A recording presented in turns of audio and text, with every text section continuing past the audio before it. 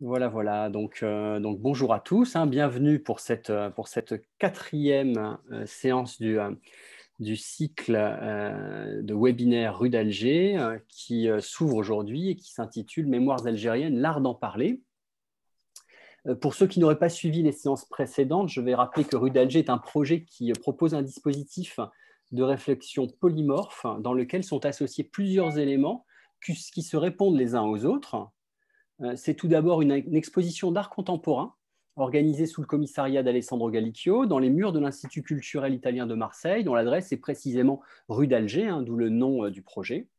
Euh, l'exposition a ouvert en octobre, mais elle a dû fermer le lendemain de son ouverture en raison de l'entrée en vigueur du confinement. L'autre élément important du projet est un ensemble d'activités académiques qui devaient précisément se tenir au cœur de l'exposition afin de profiter de cet environnement stimulant et de favoriser euh, les échanges. Mais compte tenu de la situation sanitaire, ces activités n'ont pas pu avoir lieu sur place, à notre, immense regret. Et c'est la raison pour laquelle nous avons pris cette décision de les regrouper dans le cycle de séminaires, donc désormais en ligne, devenu webinaire. Bien que nous soyons conscients hein, euh, des, limites de ce type d'outils et même des menaces qui peuvent euh, faire planer sur, sur nos pratiques.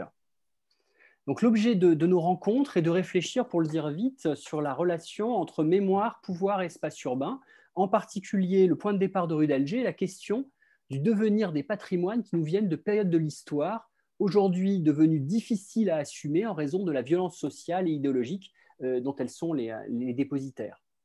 C'est le cas des mémoires de la colonisation que la simple évocation de la rue d'Alger à Marseille suffit à retrouver, puisque celle-ci a été baptisée en 1832 pour commémorer, euh, comme vous en doutez, la prise d'Alger, hein, euh, qui avait eu lieu deux ans, euh, deux ans plus tôt et qui a initié le, processus de, colonisation de l'Algérie.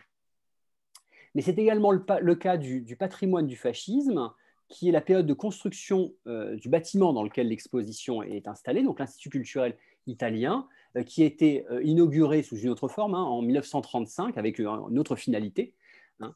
Et c'est cette période donc, du fascisme qui marque très très visiblement son architecture comme l'agencement intérieur des bâtiments euh, dans, lesquels sont installées l'exposition. Donc, par l'organisation de nos activités dans un tel lieu, nous voulions initier des échanges sur des sujets qui nous paraissent d'une grande actualité. Pour répondre aux questions suivantes, euh, quelle est la place des traces matérielles de ces passés douloureux dans l'espace des villes d'aujourd'hui? Et que peuvent-elles nous dire de l'empreinte laissée par ces mêmes périodes sur les sociétés du présent alors, avec de tels questionnements, pourquoi avoir choisi de consacrer une journée entière à l'Algérie dans le cadre de ce séminaire? Une, une demi-journée plus exactement. Hein.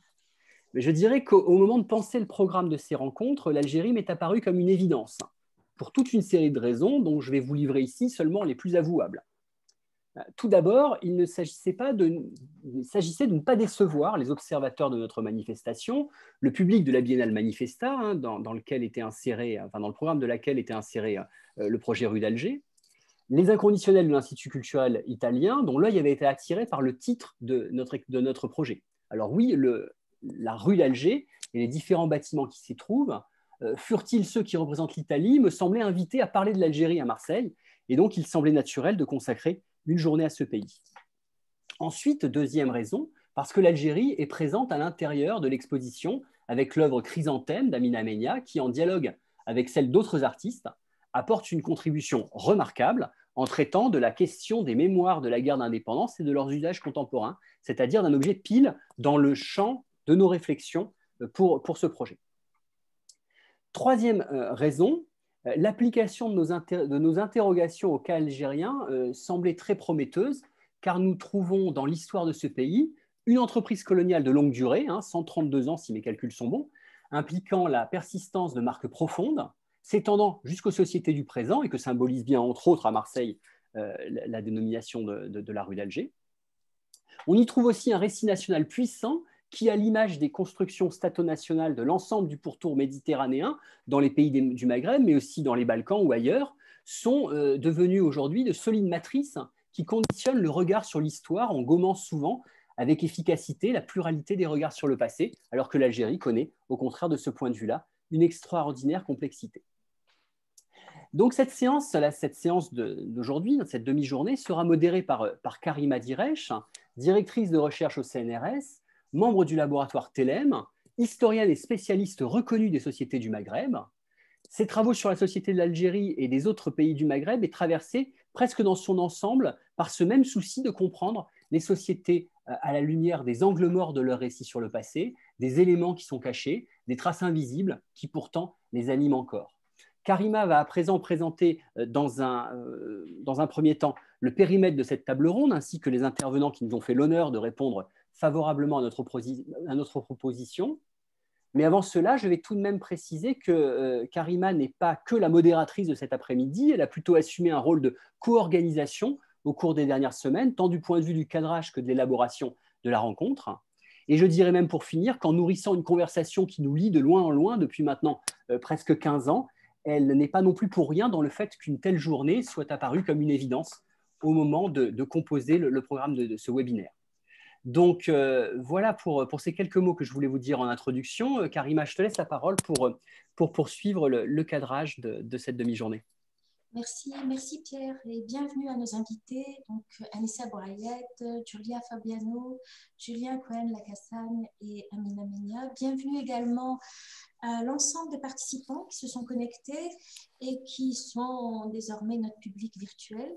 Euh, on va faire en sorte de créer euh, le plus de proximité possible entre nous pour faire de cette table ronde euh, un vrai moment de partage et d'échange. Donc, comme disait tout à l'heure Pierre, euh, le projet de la rue d'Alger aborde ben, les fantômes du passé colonial euh, et le pouvoir des imaginaires coloniaux en donnant la voix aux discours post-coloniaux et en mettant au centre, ce qui me semble très important, l'héritage de la responsabilité historique. Que fait-on de cet héritage?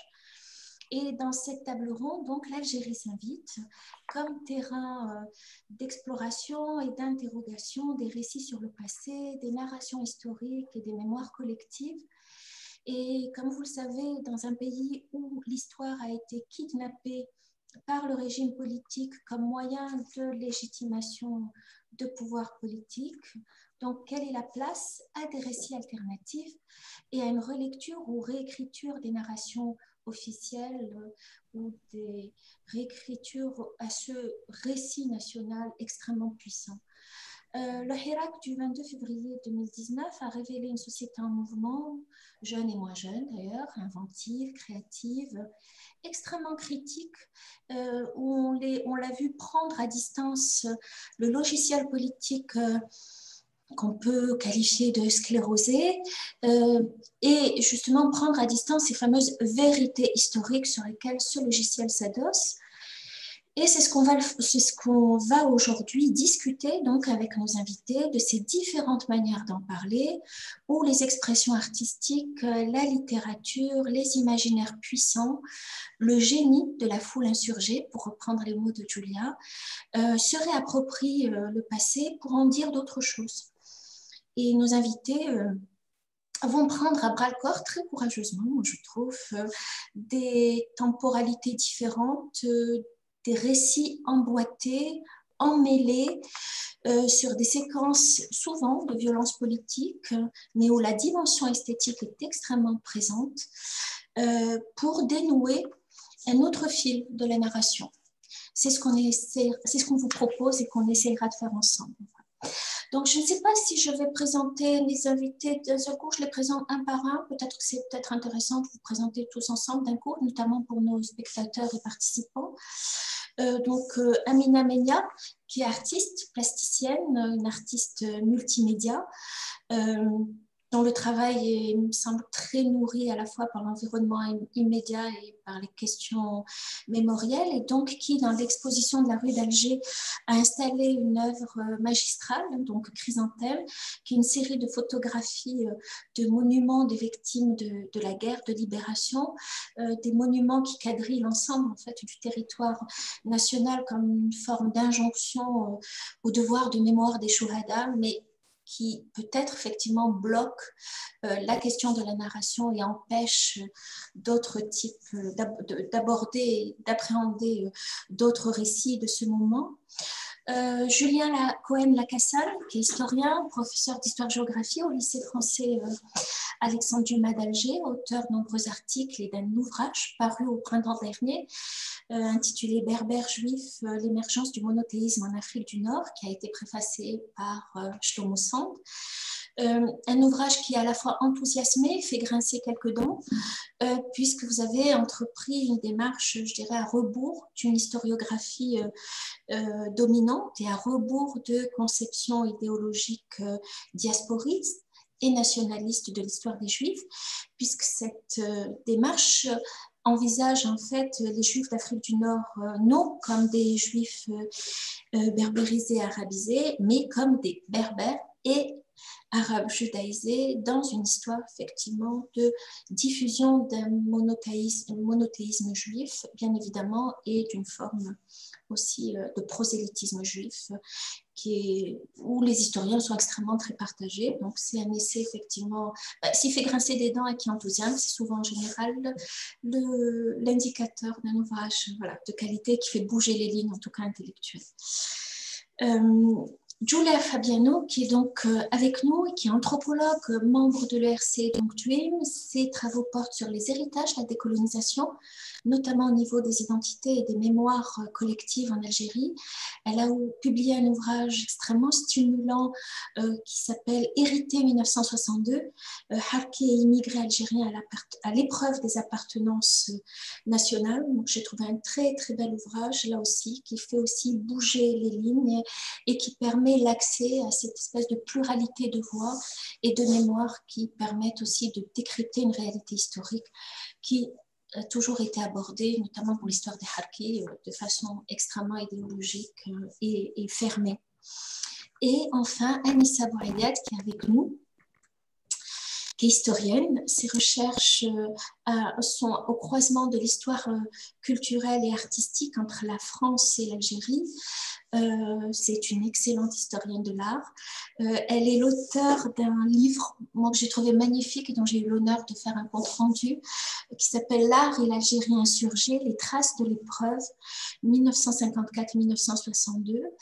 C'est un livre à la fois puissant et extrêmement délicat dans la démarche historienne, euh, où elle traite la guerre d'Algérie à, partir des productions artistiques des peintres internationaux et algériens qui témoignent également sur l'engagement lucide et douloureux des artistes de l'époque et des œuvres artistiques qui témoignent de la folie et de la violence des hommes, des témoignages à l'état brut qu'Anissa décrit comme des morceaux de mémoire à vif qui fracassent les silences et déchirent les récits historiques. Et elle a été également co-commissaire de l'exposition inaugurale du musée, donc du musée euh, des civilisations européennes et de la Méditerranée, euh, le noir et le bleu, et a co-dirigé euh, donc le noir et le bleu, un rêve méditerranéen, et a co-dirigé également le bel ouvrage collectif donc issu de cette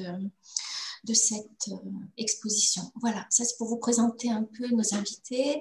Donc, de belles personnalités intellectuelles qui auront certainement beaucoup, beaucoup de choses à dire sur cette question des mémoires algériennes et de l'art d'en parler, ils en parlent tous d'une autre façon, mais qui est tout à fait complémentaire.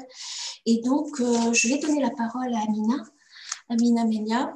On y va sur justement peut-être euh, aborder cette question de votre œuvre chrysanthème, donc peut-être qui est donc euh, présentée dans le cadre de l'exposition donc de la rue d'Alger et peut-être tirer un peu le fil sur ces questions, sur cet art d'en parler des mémoires algériennes. J'en prie.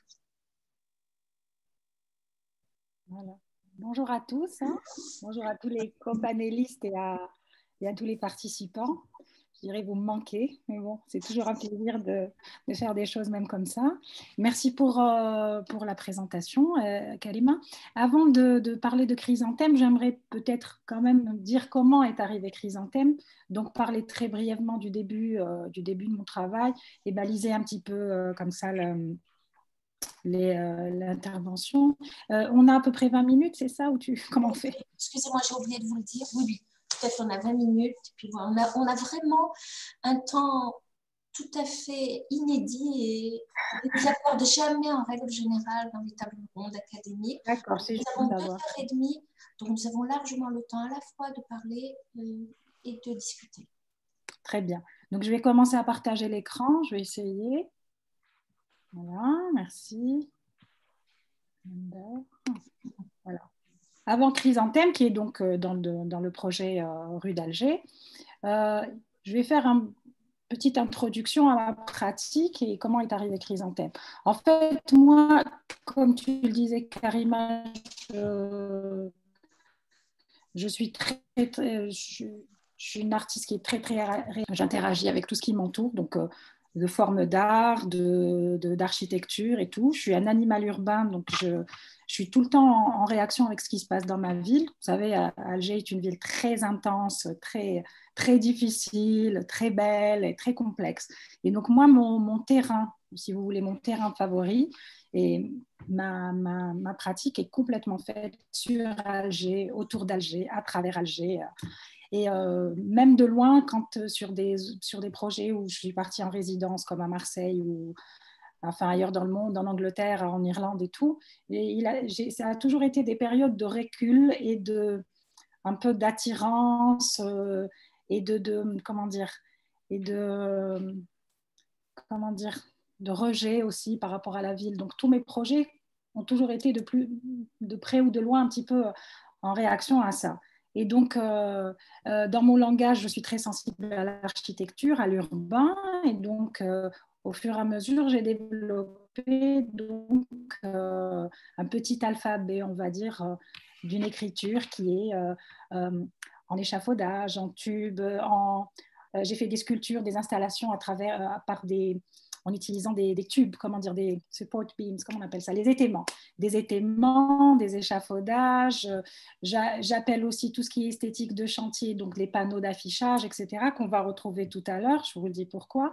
Et donc, j'emprunte à l'architecture beaucoup de métaphores, parce que je trouve que dans le langage architectural, il y a beaucoup aussi de l'humain on parle de cicatrices urbaines, on parle de mémoire du lieu, de génie. Et moi, j'ai toujours fait, je suis toujours allée comme ça, euh, puiser dans l'architecture, dans le langage architectural et urbain, ce que j'ai fait au fur et à mesure sur des années, ce qui est devenu un peu mon langage et mon alphabet. Ça a été ça un petit peu mon écriture. Et donc, euh, quand j'avais commencé ma carrière, j'avais commencé par faire des sculptures, installations, des choses, etc. Mais quelque chose me manquait, en fait. J'avais remarqué que, en réaction à la scène artistique algéroise, euh, ma pratique dénotait un peu parce que bon voilà c'était une pratique conceptuelle un peu comment dire, un peu nouvelle, un peu inédite par rapport à une scène artistique qui était un peu, on va dire, on va dire un peu art moderne pour faire vite, un langage plutôt. Et donc, euh, je n'ai pas été très bien accueillie au départ euh, sur la scène algéroise et au fur et à mesure, bah, les projets se sont détachés. J'ai été invitée à l'étranger, je travaillais et puis voilà, je démarrais une carrière internationale et je me sentais complètement déracinée de ma ville. Et je trouvais que c'était un non-sens pour quelqu'un qui adore Alger, qui interagit avec et qui en fait son pain quotidien. Je trouvais ça un peu bizarre. Et là, je me suis dit non, non, j'arrête tout. Et là, je vais me, je vais me remettre complètement en centre. J'ai besoin de m'ancrer, de m'enraciner. Voilà comment j'ai créé donc le projet Extramuros, qui a été vraiment donc un peu inaugural dans ma pratique et, qui a été un peu une réponse, comment dire, euh, euh, handing glove, quoi, une réponse directe à, plusieurs niveaux à, ce que je vivais de l'intérieur. Et donc j'interagissais par rapport à la situation, à la scène artistique.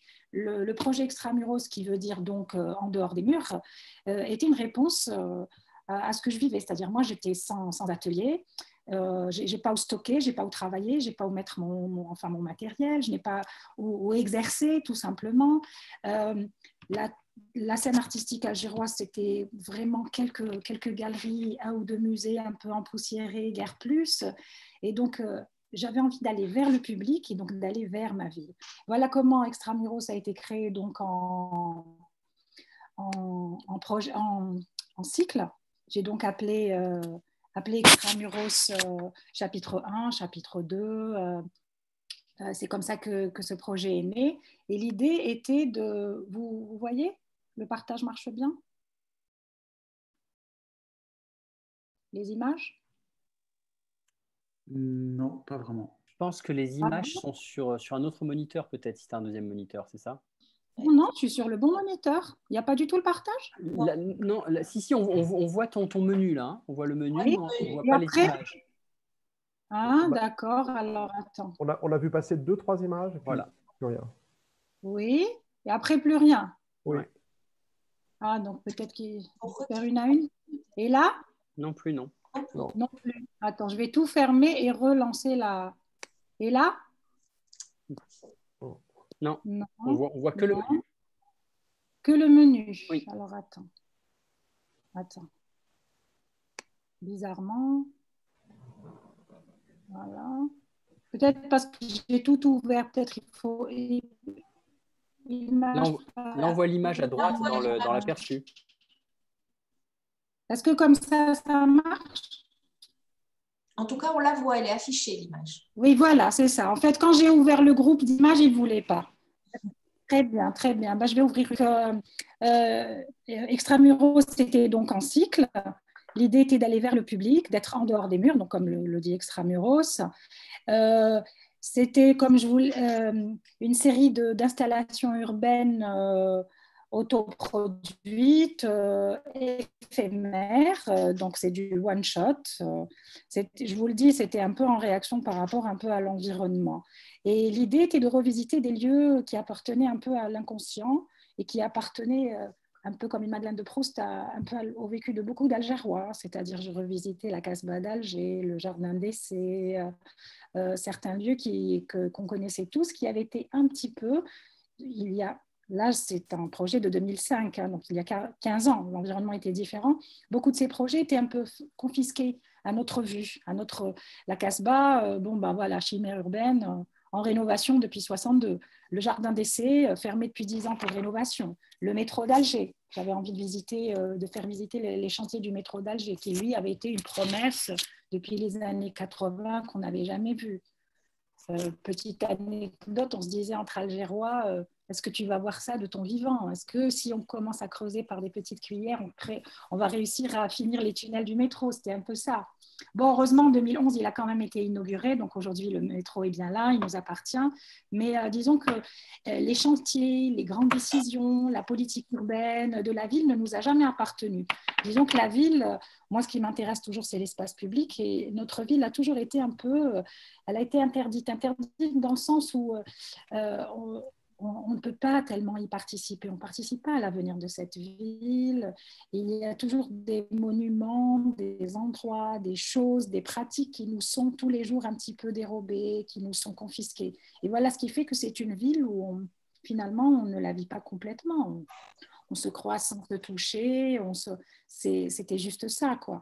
Et donc l'idée pour moi, c'était déjà d'arriver par euh, des objets un peu, un peu différents. Donc, euh, faire une sculpture avec des échafaudages, ça avait été un peu, euh, c'était un peu ironique, je vais dire de ma part, mais le premier chapitre de Extramuros que vous êtes en il était placé au centre d'art. C'est un centre d'art qui s'appelle le Bastion 23.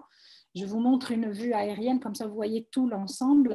C'est en fait le dernier quartier de la Casbah qui, est vraiment pied dans l'eau, qui n'avait pas été. Qui, le, vous voyez le boulevard qui est en bas, parce que la France, euh, quand elle est arrivée, elle avait en fait fait comme une espèce de grande saignée, un grand geste, où elle avait séparé la Casbah de la mer. Elle avait arrêté un petit peu le fait que la Casbah descende comme ça en cascade jusque sur la mer, en installant des grands boulevards euh, vraiment euh, le boulevard de, la, de, euh, de Zero Youssef, bon, à l'époque, le boulevard de la République, tout ça, Carnot et tout. Et bon, évidemment, pour asseoir une nouvelle image, c'était l'image à la française. Plus tard, il, allait y avoir les, architectures à la haussmannienne, etc. Et donc, euh, ce qui reste, euh, cette espèce de petit quartier de pêcheurs un peu archétypal qu'on a restauré et restitué un peu en centre d'art.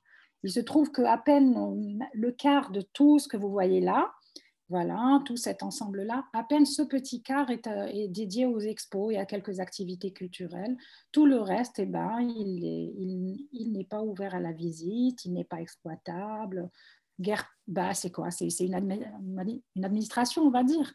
Bon, les directions culturelles de je ne sais plus trop quoi, donc euh, autant dire un vaisseau fantôme. J'avais envie un peu de dénoncer avec ça euh, espèce de projet creux euh, tel qu'on sait faire. Non, on a la maestria de ça, de projets sans lendemain, sans promesse, euh, de choses qui restent derrière les rubans, derrière les rubans. Une fois qu'on a inauguré, ensuite il ne se passe plus rien. On n'y a pas droit, on ne peut pas se les approprier.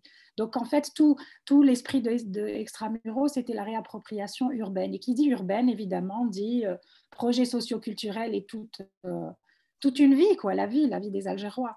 Donc moi, je me suis installée ici, dans l'espace de petit Amina, Oui Désolée, on ne voit pas l'image. C'est vraiment dommage. D'accord.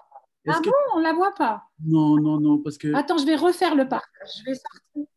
Est-ce que, tu veux que je partage les écrans, les, que je partage moi mon écran? Peut-être que ça, ça passera. Et Alors écoute, j'essaie une dernière fois. Écoute, je vais essayer une dernière fois de refaire le partage et si ça ne marche pas, je te le confie. Parce que je pense que ça affecte aussi le son de, ce que tu nous dis, qui est des Est-ce que ça marche. Ça déforme un peu le son, Amina.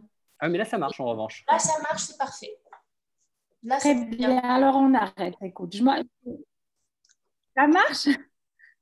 Ça marche. J'espère juste que ça n'affectera pas le son. Bah, écoute, on essaie une dernière fois, sinon je vous Sinon, Pierre, tu peux reprendre la, main? Oui, je vais reprendre la main. Je pense que ce sera mieux. Très bien, très bien. Voilà. comme ça, on peut euh, Voilà.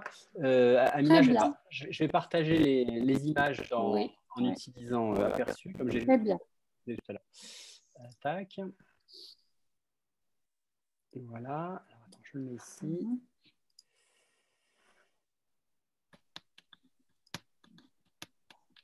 C'est vrai que ça affecte le son en général. Oui. très bien. Voilà, parfait là. Alors, parfait, mais voilà. à ma grande surprise, c'est moi qui ne vous vois plus.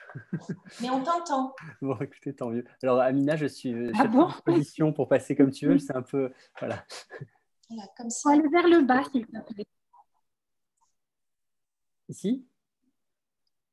Est-ce que tu peux montrer les images du début? En fait, elles sont en bas. Elles sont en bas, celles du début. Celles du bas, oui. Voilà. Oui. tu peux cliquer complètement en bas, s'il te plaît. Celle-ci Oui, ben, en fait, c'est 1, 2, 3. J'avais, numéroté comme ça, comme ça, on se... Je, mais je ne vois plus les, les numéros. C'est euh, bizarre que tu vois plus. Attends, là, j'ai le truc sur le côté. 14, 13, 7, 8, 1. Voilà, la 1 est là. Bah, Elles sont en désordre, Oui, va comprendre. Non, elles sont du 14 au 1. Donc, tu vas au 1. Euh, là, je suis au 1, ça non fait ça dans l'aperçu. Tu es sur Mac, toi Oui. Là, je suis au 1, non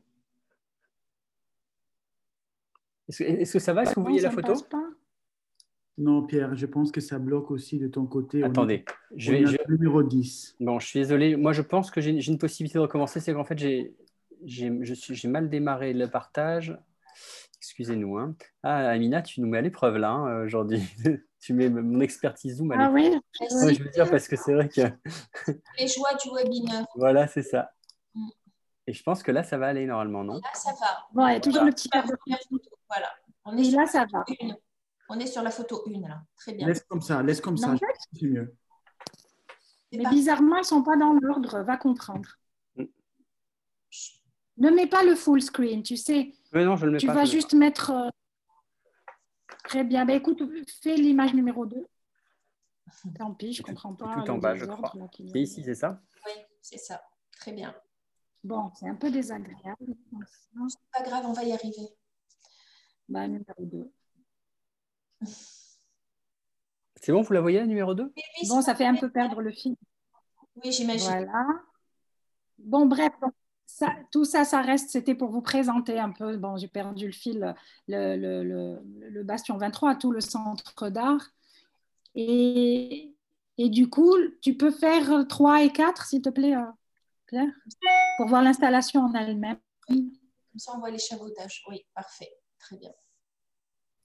Euh, voilà, 3 et 4, voilà. Voici la 3 et voici la 4. Bon, on va rester sur la 4 le temps que vous puissiez voir. Voilà, très bien. Donc voilà, l'installation était celle-là. Elle est donc située dans un endroit qui n'était pas réservé à la, visite. Hein. donc, euh, une manière déjà de ramener le public vers ici. Puis je les invitais à continuer leur visite et à, après, un petit peu à apprivoiser, j'allais dire, le Bastion 23.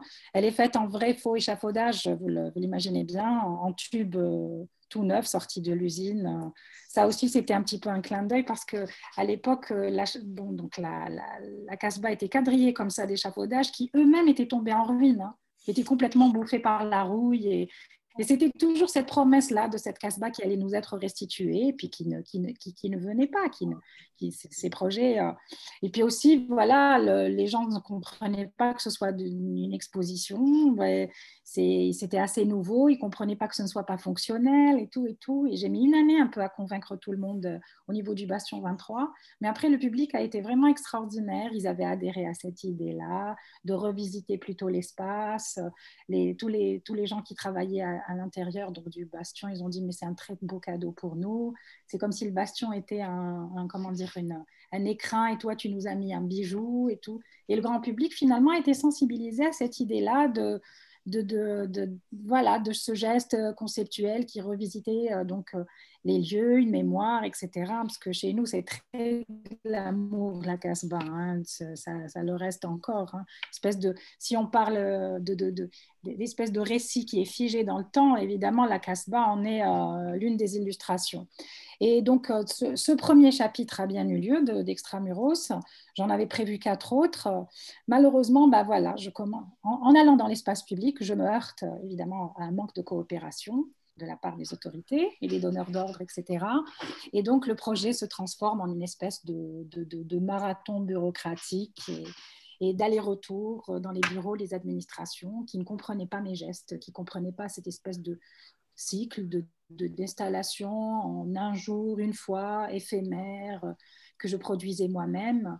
S'il te plaît, Pierre, est-ce qu'on peut passer aux autres images? Je vais montrer l'autre, voilà ici, au métro. Euh, un peu plus haut. Voilà, donc c'est la 7 et la 6 normalement. Regarde, je crois. Tu peux voir un peu plus haut. Donc euh, voilà, donc c'est 7 et 8. Voilà. Ça, c'était euh, des, photos que j'avais pu, faire bon, dans, le plus grand secret, j'allais dire. C'est les photos du, métro d'Alger, mais vraiment brut, de décoffrage, tel que vous voyez là. C'est l'un des quais, et puis en haut, c'était la salle des billets, l'une des entrées de l'une des, et l'idée, donc, c'était de faire un parcours sonore à l'intérieur de ce chantier-là et d'inviter les Algérois à se réapproprier enfin ce, cet objet-là qu'on ne comprenait pas, cette chimère urbaine, cette promesse qui ne venait pas de ce métro. Et là, pareil, euh, on commence à me dire, euh, c'est des choses qui, qui, commençaient à revenir, ah mais madame, c'est une provocation, c'est très politique, euh, mais nous, on ne peut pas. Et ils ne comprenaient pas que c'était de l'art, ils ne comprenaient pas que, moi, mes préoccupations étaient aussi esthétiques avant tout. Et ensuite, j'ai commencé à, essayer de courir un peu dans, tous les sens et et de, m'engager dans le, troisième chapitre, qui était donc euh, une revisite et une installation au niveau du jardin d'essai. Elle est en haut, cher Pierre, je crois que c'est en haut. Voilà, jardin d'essai, 9 et 10. Et pareil, donc le jardin d'essai qui est très très connu, euh, euh, voilà, là où on a fait le tournage du premier Tarzan parlant, de l'histoire du cinéma, donc en 1937. Un jardin magnifique en trois parties, avec un jardin à l'anglaise et un jardin à la française. Et là aussi, pareil, jardin était, était, était, fermé depuis 15 ans. Euh, beaucoup de petits Algérois ne pouvaient plus y courir, ni le visiter, ni les amoureux s'y retrouver. Moi, j'avais envie voilà, de restituer ce moment-là.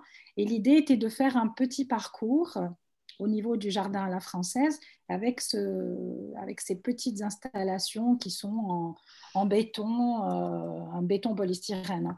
Mais bon, euh, c'est un parcours initiatique où on se perd dans le jardin et où on rencontre comme ça des passerelles, euh, des, euh, des, cubes, des choses comme ça. Mais pareil, là aussi, personne n'a compris le projet. Ils ne comprenaient pas du tout pourquoi je, voulais m'installer dans un lieu qui était fermé, qui aurait dû être restitué. Donc, de toute façon, ça recoupait en plein, de plein fouet ma, ma, problématique qui était la réappropriation de l'espace, hein, de l'espace l'espace public et se le réapproprier par un geste artistique, par une œuvre. Et, là, pareil, c'était très, très. Pour eux, les gens recevaient ça comme quelque chose de très, très provocateur. Ils ne pouvaient pas imaginer que mes préoccupations à moi n'étaient pas politiques, mais plutôt esthétiques. Et voilà comment donc le projet de au fur et à mesure, les, comment dire, les chapitres ne se sont pas faits, ne se sont pas réalisés. Et il est devenu malgré moi un peu archive. Aujourd'hui, il existe comme ça sous forme pu réalisé. Ils sont, bah, ils sont 11, 12, 13, s'il te plaît, Pierre, sans devoir te commander. On va voir les autres images. Où là aussi, je questionne toujours l'architecture et, et, les mémoires du lieu. Euh, on voit par exemple dans le 12, dans le 12 et le, 11. Voilà. Tu vois le 12 et l'image qui est en dessous et le 11, surtout le 11. là, j'intervenais dans le débat. Euh, il y avait eu un débat euh, euh, autour de l'immeuble La Parisienne. Voilà, c'est ça. Voilà. C'est une espèce de deux immeubles que vous voyez là, qui étaient en très mauvais état bon, d'une architecture coloniale qui n'était pas classée non plus, qui n'était pas terrible. Ce, bâtiment menaçait ruine. Il y a eu un grand débat entre les, ceux qui voulaient le, comment dire, le, le, restaurer, le sauver, et ceux qui, qui étaient pour la démolition, parce que c'est vrai qu'il était devenu dangereux, il était classé rouge. Et euh, du coup, pour une fois, il y avait eu le débat entre, sans hypocrisie, je dirais presque, entre ce que c'est donc l'héritage colonial, ce que c'est cette architecture qui est bien au centre-ville, pas loin de la, de la poste d'Alger, de la Grande Poste. Et euh, pour une fois, ben, des, architectes, des spécialistes euh, s'interrogeaient. Et moi, donc, je suis venue m'inscrire là-dedans, là dessus Et j'avais envie de faire aussi donc, ce quatrième chapitre d'Extramuros, qui venait en fait, image 12, s'il te plaît, Pierre, une fois que le bâtiment avait été démoli, je venais m'inscrire moi avec, euh, voilà, vous voyez avant, après. À gauche, l'image de, cette espèce de, comment on dit en, langage urbain, cette dent creuse qui est restée. Donc, cette espèce de petite poche euh, qui est restée comme ça, vide, un peu abandonnée pendant des années. J'avais envie de m'inscrire dedans. Le temps, vu que ce terrain-là appartenait à, une Française française d'Algérie, quoi. Donc, euh, euh, c'était un terrain privé. On était dans le domaine du privé. Moi, j'avais envie de m'inscrire dans un terrain qui était privé pour faire quelque chose qui devait être public. Enfin, bref, si vous me suivez. Et même là, la mairie n'a pas voulu accepter de me laisser m'installer là parce que je voulais faire ce que vous voyez, les tubes en jaune. J'avais envie de mettre des tubes d'étaiement qui n'étayaient plus rien d'ailleurs euh, de venir m'inscrire comme ça un peu, j'allais étayer le fantôme de, cette, de cet ancien immeuble très connu, la Parisienne, parce qu'en fait, il y avait une boulangerie en dessous qui s'appelait la Parisienne, où il y avait des, des croissants fameux que tous les Algérois s'arrachaient. Et donc, moi, je venais avec mes tubes d'étaiement, ne plus rien étayer du tout. Et euh, cet immeuble se, se, trouve à deux rues, seulement deux rues, de la galerie Racine, qui est l'une des galeries les plus importantes. Euh, c'est une galerie publique hein, algérienne qui abrite l'Union des artistes algériens. Et donc l'idée était d'installer ces étéments et d'installer à l'intérieur de la galerie, deux rues plus haut, le film de cette installation. Donc on voit en direct euh, cette installation. Bon, évidemment, je vous le dis, les gens n'ont pas très très bien compris que ce soit de l'art et que, je veuille euh, voilà, étayer des trucs, euh, voilà. Alors que c'est un langage, évidemment, mais là, pareil, même la mairie ne m'a pas autorisé à faire ça alors que j'étais sur un terrain privé. Et il me disait, de toute façon, ce terrain, peut, on peut le débloquer en disant que c'est d'utilité publique et on le transforme en jardin public. Bref. Donc, euh, même là, l'architecte qui avait racheté ce terrain-là ne pouvait pas m'aider. Et ça montre à quel point, toujours, euh, cette espèce de, de fausse hybridité privée-publique chez nous est toujours extrêmement sensible et susceptible, j'allais dire. Et donc, moi, pour sauver un petit peu, encore un troisième chapitre qui ne se fait pas, pour sauver un peu, j'ai dû aller aux marges de la ville et bien voilà, donc les dernières images, s'il te plaît, 13 et 14, Pierre, la 13. Euh, je me suis dit, bon, euh, là aussi, il faut que je... Là, j'ai utilisé un ready Je suis allée aux marges de la ville, aux marges de la cité, pour voir s'il n'y a pas quelque chose qui est aussi très métaphorique de la cité. Et là, j'ai trouvé un très, très beau, voilà, on va dire, euh, ready-made, un peu, un peu abandonné. Et ça a été l'objet du, du, cinquième chapitre de, de Extramuros. Voilà. Donc, 14 unfinished construction. Donc, l'image 14, euh, voilà, on voit le dos de, de, de, cet endroit-là, qui a été cette petite poche euh, urbaine que j'ai utilisée. Et donc, je vous le disais, moi, j'étais partie du terrain, entre guillemets, et pour interroger la ville, pour faire de l'art. À un moment donné, euh, Extramuros était devenu archive et j'étais en train de m'interroger sur ça. Je me disais, bon, bah, voilà comment la pratique peut un peu évoluer au cours d'un projet. Chemin faisant, j'étais en train d'affiner ma pratique par rapport aux contraintes. Et, euh, euh, donc, est-ce qu'on peut passer, s'il te plaît, Pierre, à un autre dossier? Donc, si on pouvait fermer ça et aller du coup à Chrysanthème. Voilà, merci beaucoup. Voilà comment donc Chrysanthème est arrivé. Euh, Chrysanthème était, euh, était pour moi aussi euh, très était une façon. je, je m'interroge beaucoup sur les formes d'art que l'on voit dans l'espace dans l'espace public. Et une forme d'art qui revient vraiment très très très souvent, c'est les stèles en Algérie. Voilà, merci. Les stèles d'inauguration. Voilà, stèle d'inauguration, stèle de commémoration, pose de la première pierre. Ça, c'est des choses qu'on voit beaucoup. Et donc, euh, sur tout le territoire, euh, vous pouvez trouver ce genre d'objet. Tout le territoire. Tu peux faire défiler, Pierre, comme ça, on va, on, va voir tellement d'exemples.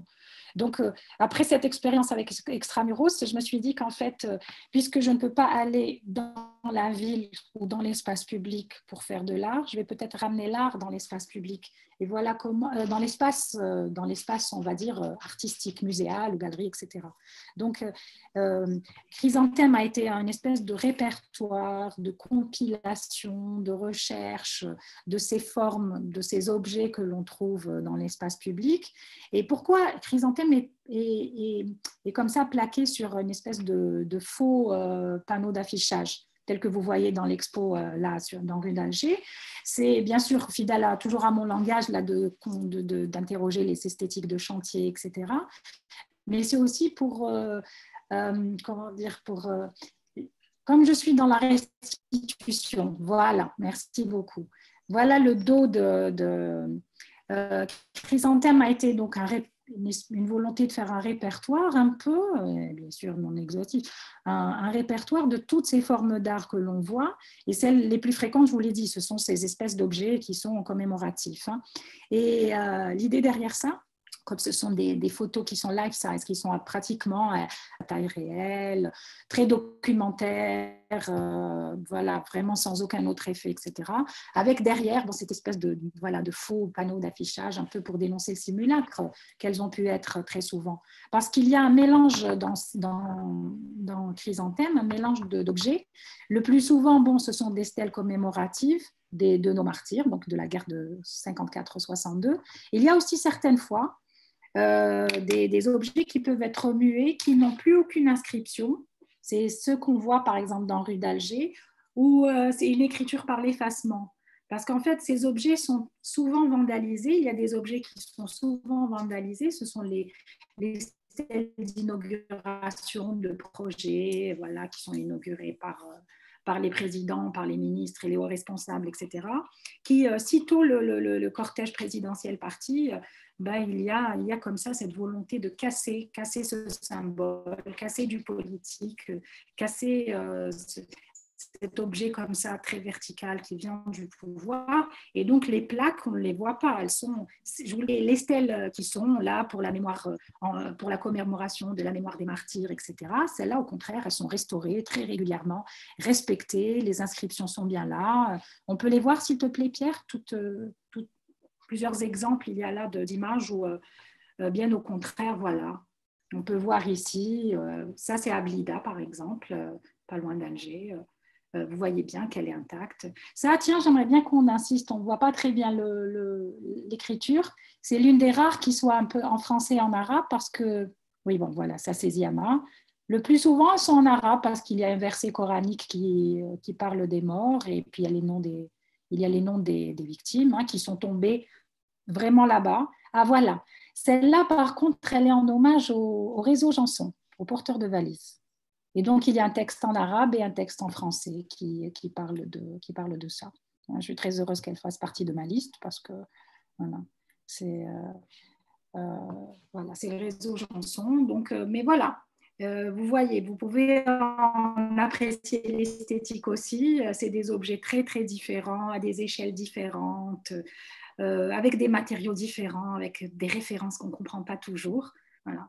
Il y a aussi, derrière cela, voilà, là, c'était vraiment en bord d'autoroute, vraiment une liste de noms des gens qui sont tombés vraiment sur les lieux. Et parfois, elles sont plutôt au centre du village ou au centre de la ville. C'est quelque chose d'un peu plus grandiose il faut savoir que, par exemple, dans ce cas, dans celle-là, c'est une ancienne, euh, c'est une ancienne stèle de l'époque française qui a été remplacée, dont les inscriptions ont été remplacées, dont le buste a été remplacé. Là, vous voyez, c'est l'émirat d'El-Kader en haut qui coiffe, euh, qui coiffe cette espèce d'obélisque, là, comme ça. Euh, il y a aussi cette espèce d'emboîtement qu'on voit de temps en temps, où c'est vraiment une mémoire qui en coiffe une autre. C'est vraiment une espèce de superposition, voire même compétition des mémoires certaines fois. Il y en a d'autres, voilà, il y a, d'autres exemples euh, où, vraiment on voit qu'on est vraiment dans le remplacement.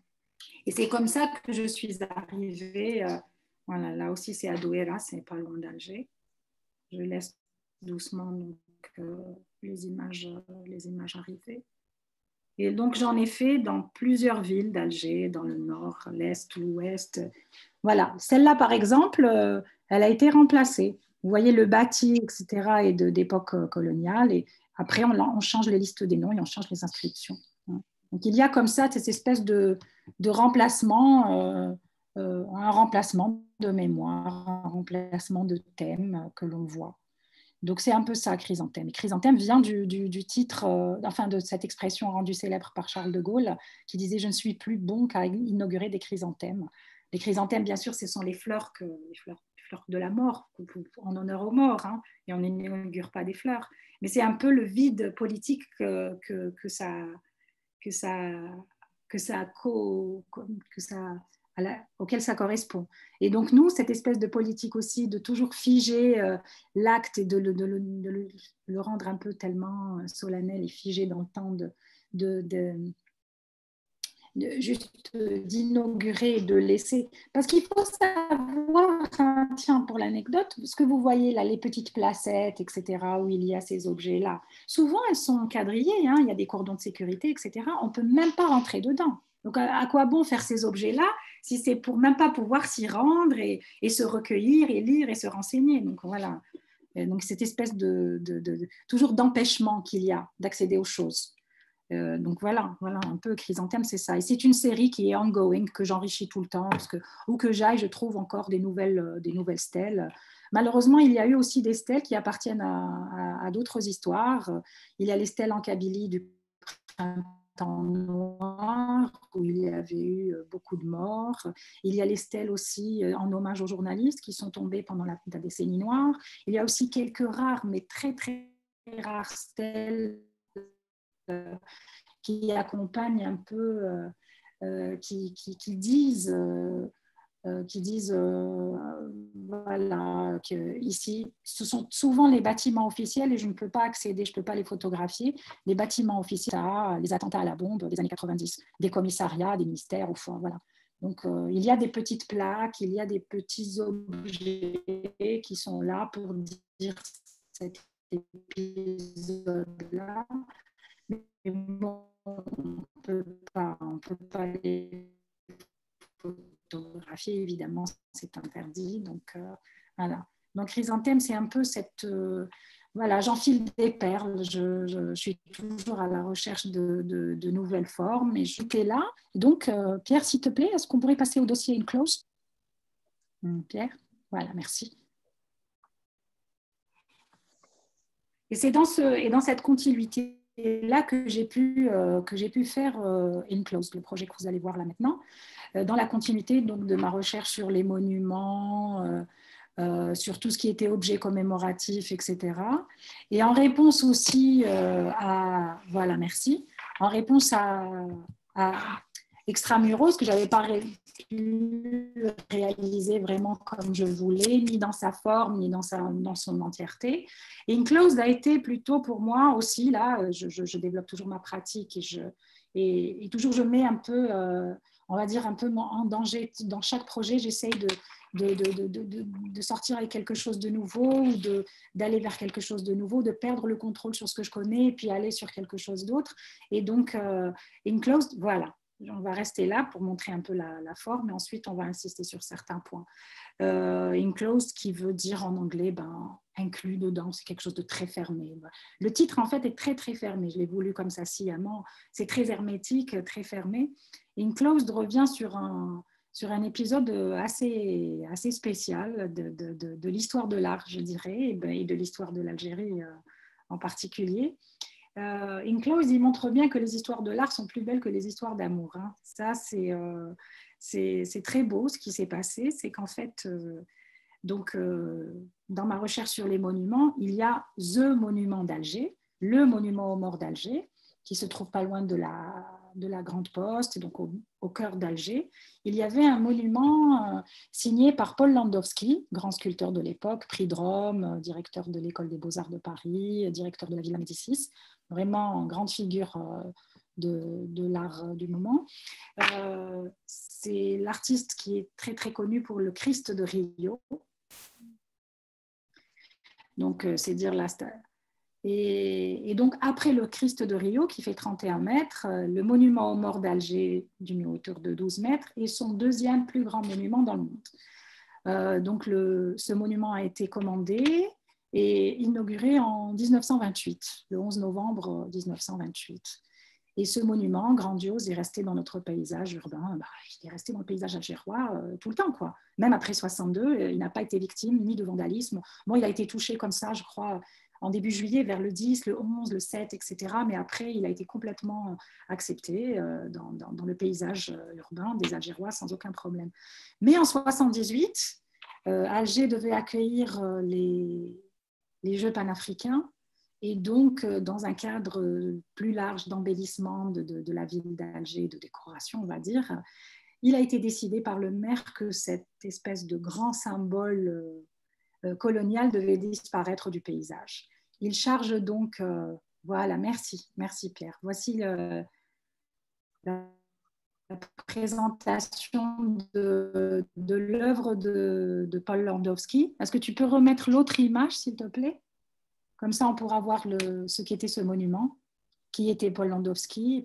Voilà. Donc, on a des images du concours, les dessins préparatoires. On a euh, euh, là au milieu, comme ça, des échafaudages en bois pendant la réalisation du monument. En bas, donc, il y a, Paul Landowski en pleine réalisation. Il y a des grandes photos, là en noir et blanc, des bas-reliefs qui entourent le monument. Il y a euh, un timbre qui célébrait ce monument. Il y a des cartes postales qui montrent le monument à différentes époques, dans les années 30 et 50, etc. Et donc, voilà. Euh, voilà, donc ça, ce monument est resté jusqu'en 1978 jusqu'à ce que le maire décide qu'il devait disparaître. Il confie donc euh, le directeur, le chef du projet d'embellissement de la ville d'Alger, qui est le père de l'art moderne algérien, mais il lui dit de faire quelque chose de ce monument. Et c'est là que l'histoire devient très belle. Je vous dis que c'est plus beau qu'une histoire d'amour. C'est euh, ah, quelques minutes encore. Oui, c'est là que, que, ça devient intéressant, c'est que ben, Mohamed Issiakham n'a pas pu détruire ou déboulonner ou, toucher à ce monument. Ben, ce qu'il a fait, c'est qu'il l'a juste couvert, couvert d'un plastique et couvert d'un petit mortier blanc, juste pour contourner cette demande, juste pour contourner cette commande et éviter évidemment de toucher euh, à l'œuvre d'art. Voilà. Donc le respect d'un artiste, le respect de l'œuvre d'art d'un artiste lui a fait faire ce très beau geste. Malheureusement, ben, ce, mortier a tenu et personne n'a eu jamais le courage de, de, réouvrir cette espèce de sarcophage tel qu'il l'appelait lui. Et voilà, aujourd'hui, on a cette espèce d'emboîtement des mémoires, ce que vous voyez là sur ces photos. Et ben c'est cette espèce de, coffrage comme ça, de fermeture, d'englobement du monument de, Paul Landowski. Euh, et qui est donc après, euh, on va dire, flanqué de deux, trois symboles comme ça, de la révolution agraire, des mains qui, des, comme des bras comme ça, qui brisent les chaînes du colonialisme. Bon, bah, c'est très premier degré, mais voilà, il était obligé, on va dire, de décorer ses façades. Et, et moi, en 2012, euh, comme par hasard, 50 ans après l'indépendance, il se trouve que tout le porte-à-faux s'effondre. Et voilà ce qu'on voit ici. Vous reconnaissez les échafaudages, hein, donc partie de mon langage. Et derrière cette espèce de grande fissure et cet écroulement, eh ben, qu'est-ce qu'on trouve? On trouve, euh, on trouve derrière euh, l'œuvre de Landowski. Donc en fait, donc cette espèce de palimpseste qui était là, cette double écriture, ce sont deux artistes qui, ne se sont pas réellement rencontrés, qui n'ont pas réellement dialogué. J'allais être moi la troisième génération à, dialoguer avec cette œuvre. J'essayais un peu de susciter le débat auprès de la mairie, etc., pour qu'on puisse enfin ouvrir, garder un peu des deux, etc. Mais bon, évidemment, ça n'a pas pu se faire. Et donc la forme que vous voyez, la forme finale de Enclosed, c'est cette espèce de euh, installation-based euh, documentary based, on va dire, basé. Voilà, c'est ça, c'est ces espèces d'enquêtes que j'ai faites, ce sont des fragments, c'est un peu ma manière aussi de faire, c'est telling stories with fragments. C'est ça a été un peu, j'ai mis en scène toute ma pratique parce que autant dans, dans Extramuros, je n'avais pas pu montrer, j'avais pas pu réaliser euh, les œuvres telles que je les voulais. Cette fois-ci, cette mise en abîme est mise en scène. Et donc voilà, quand vous rentrez, vous avez des espèces de fragments qui sont là et vous reconstituez l'histoire. Et, euh, et voilà, je dois vite bouger à d'autres projets, je crois, je n'ai plus beaucoup le temps. Merci. Euh, je, merci, je suis chargée aussi de contrôler un peu le temps. Est-ce que j'ai encore le temps ou pas? Non, on, voit peut-être ah. tout à l'heure, notamment dans les questions que pourront poser nos, ah, participants. c'est dommage parce qu'il y avait les deux films, mais, bon, c'est un peu long. On, a encore, trois participants, donc euh, oui, oui, c'est normal. C'est normal. venir compléter. Et, en tout cas, merci infiniment. Merci, à tout à l'heure c'est l'art de parler de la mémoire des lieux dans l'Algérie d'aujourd'hui euh, et cette forme d'archéologie romaine dans laquelle vous nous emmenez euh, au croisement à la fois de l'histoire, euh, de la mémoire des lieux, du langage architectural sur des lieux emblématiques.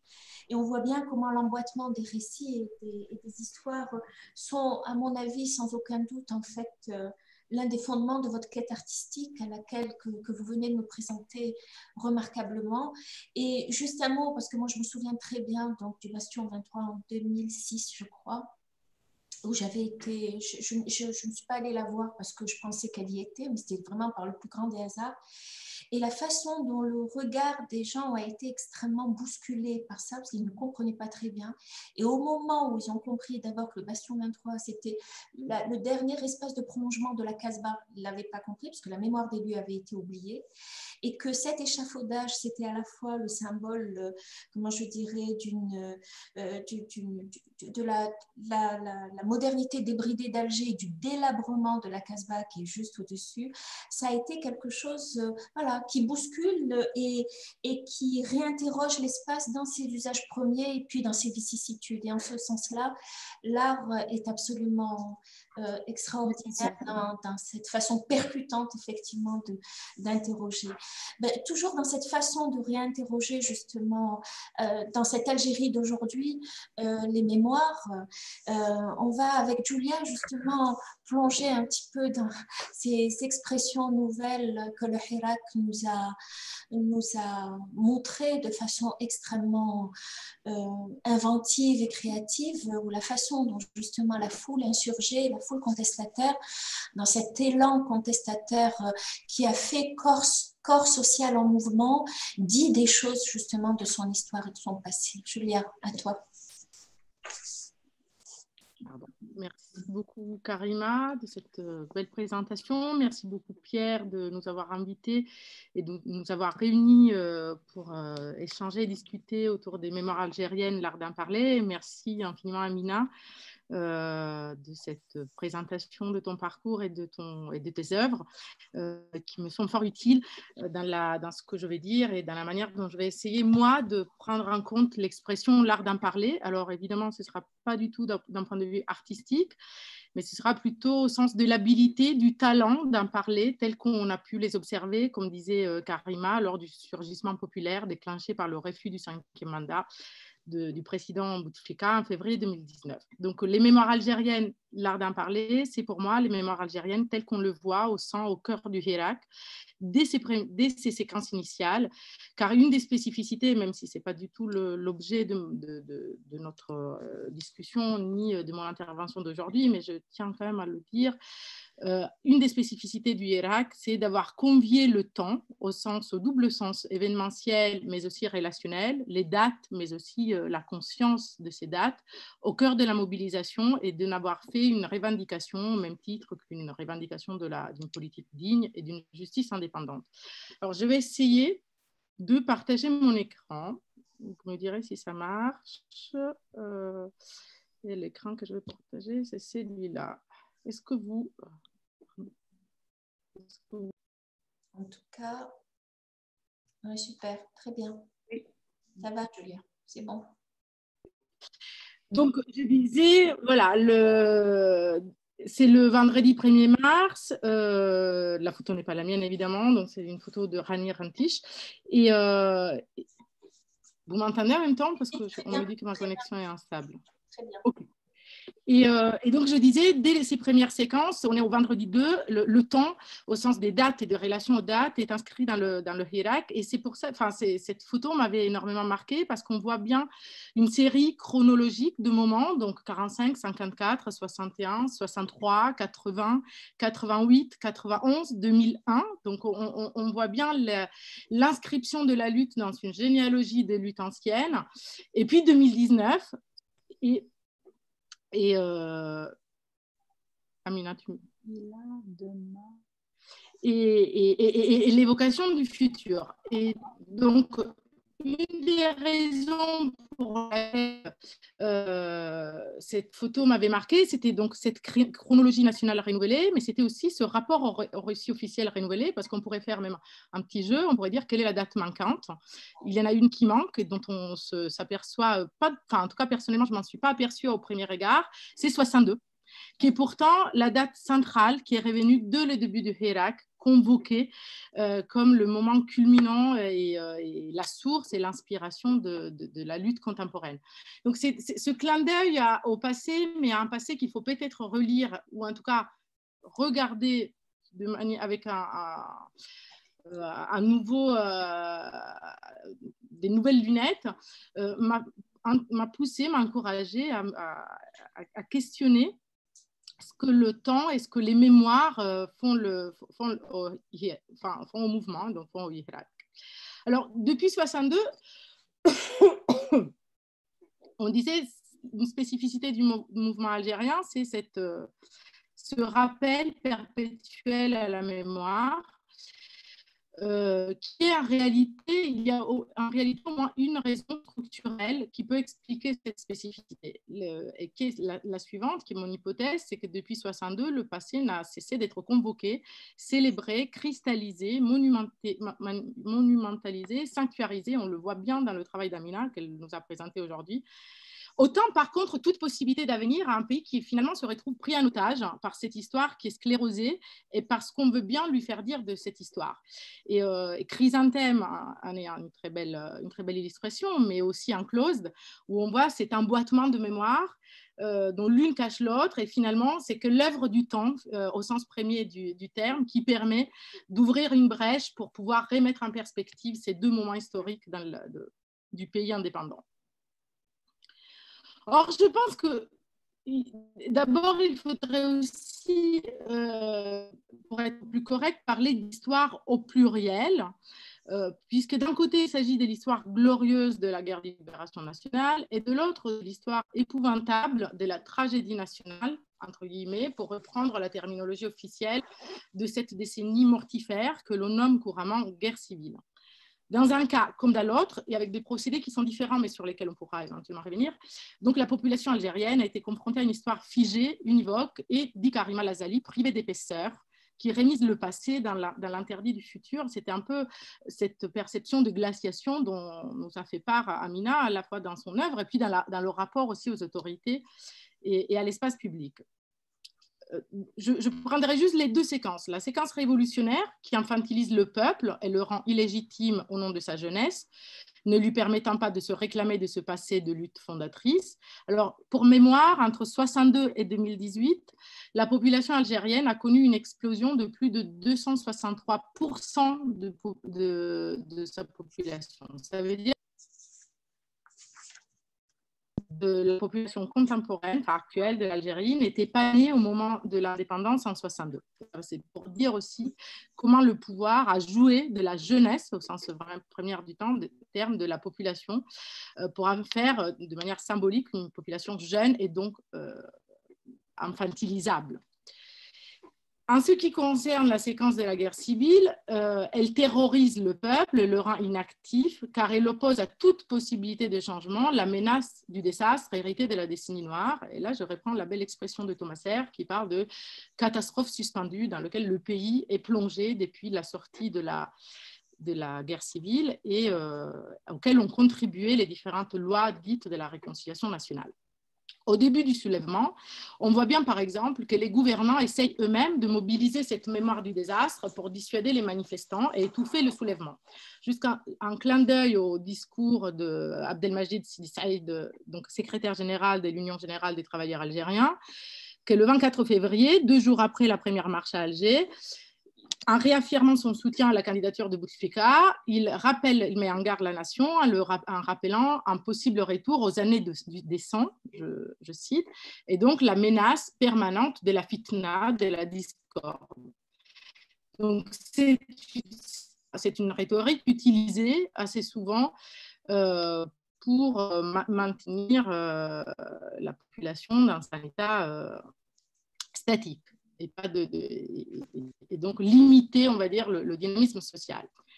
Dans ce contexte de trop plein pour la mémoire coloniale, mais de pas assez pour celle postcoloniale, le Hirak vient dépareiller la donne.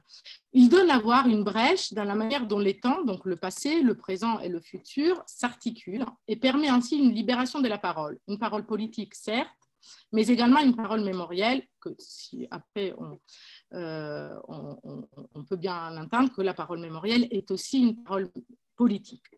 Et là, je cite Karima dirais-je, qui écrit La rue devient alors le territoire de la mémoire collective, où la résurgence des violences politiques qui ont rythmé l'histoire de l'Algérie indépendante s'intègre en tant qu'objet de la contestation. Et je trouve que ça fait vraiment écho à ce que disait Amina sur cette réappropriation de l'espace public et cette réappropriation de la rue qui était interdite, tu avais dit, empêchée hein, jusqu'à présent. Donc, pour nuancer ce que je viens de dire, je, je pense qu'il est important quand même de souligner qu'un travail souterrain, silencieux, par moments euh, plus, plus visible, mené en surface, qui était défendu par des historiens, mais également des cinéastes, des artistes et des écrivains, a accompagné tout le long la société algérienne et a questionné cette économie mémorielle que le pouvoir lui a imposée.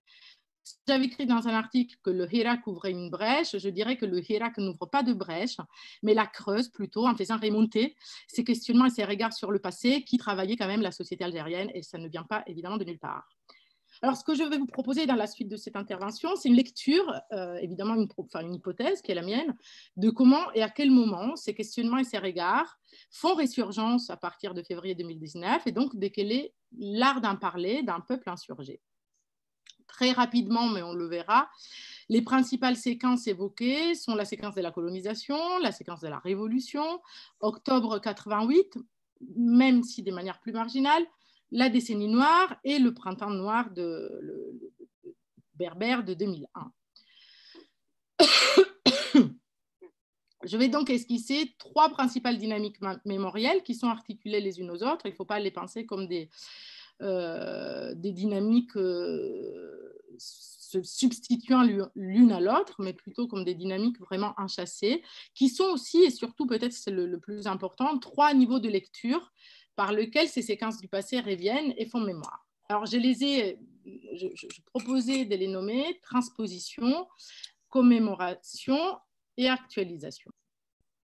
Donc, par transposition, J'entends cette juxtaposition du temps, et en particulier du temps révolutionnaire, 62, 80, 2001, qui permet de créer un effet miroir, ou en tout cas une proximité d'expérience entre le passé et le présent. Cette proximité est propice à rappeler la généalogie de lutte, on l'a dit, et surtout à créer une résonance entre des séries d'événements similaires. Je citerai deux cas, euh, donc un tag qui est apparu à Alger peu après février et un slogan des premiers vendredis euh, qui était marqué sur une pancarte à Béjaïa qui font l'exemplarité euh, du passé comme source, comme force et comme inspiration. Donc le tag c'est sur le, ce qui a été renommé le Freedom Wall, donc cette rue, un escalier qui du centre d'Alger monte un peu vers les hauts On t'entend plus, Julia. Julia Faudra peut-être. Julia, on ne t'entend plus. On ne t'entendait plus, Julia.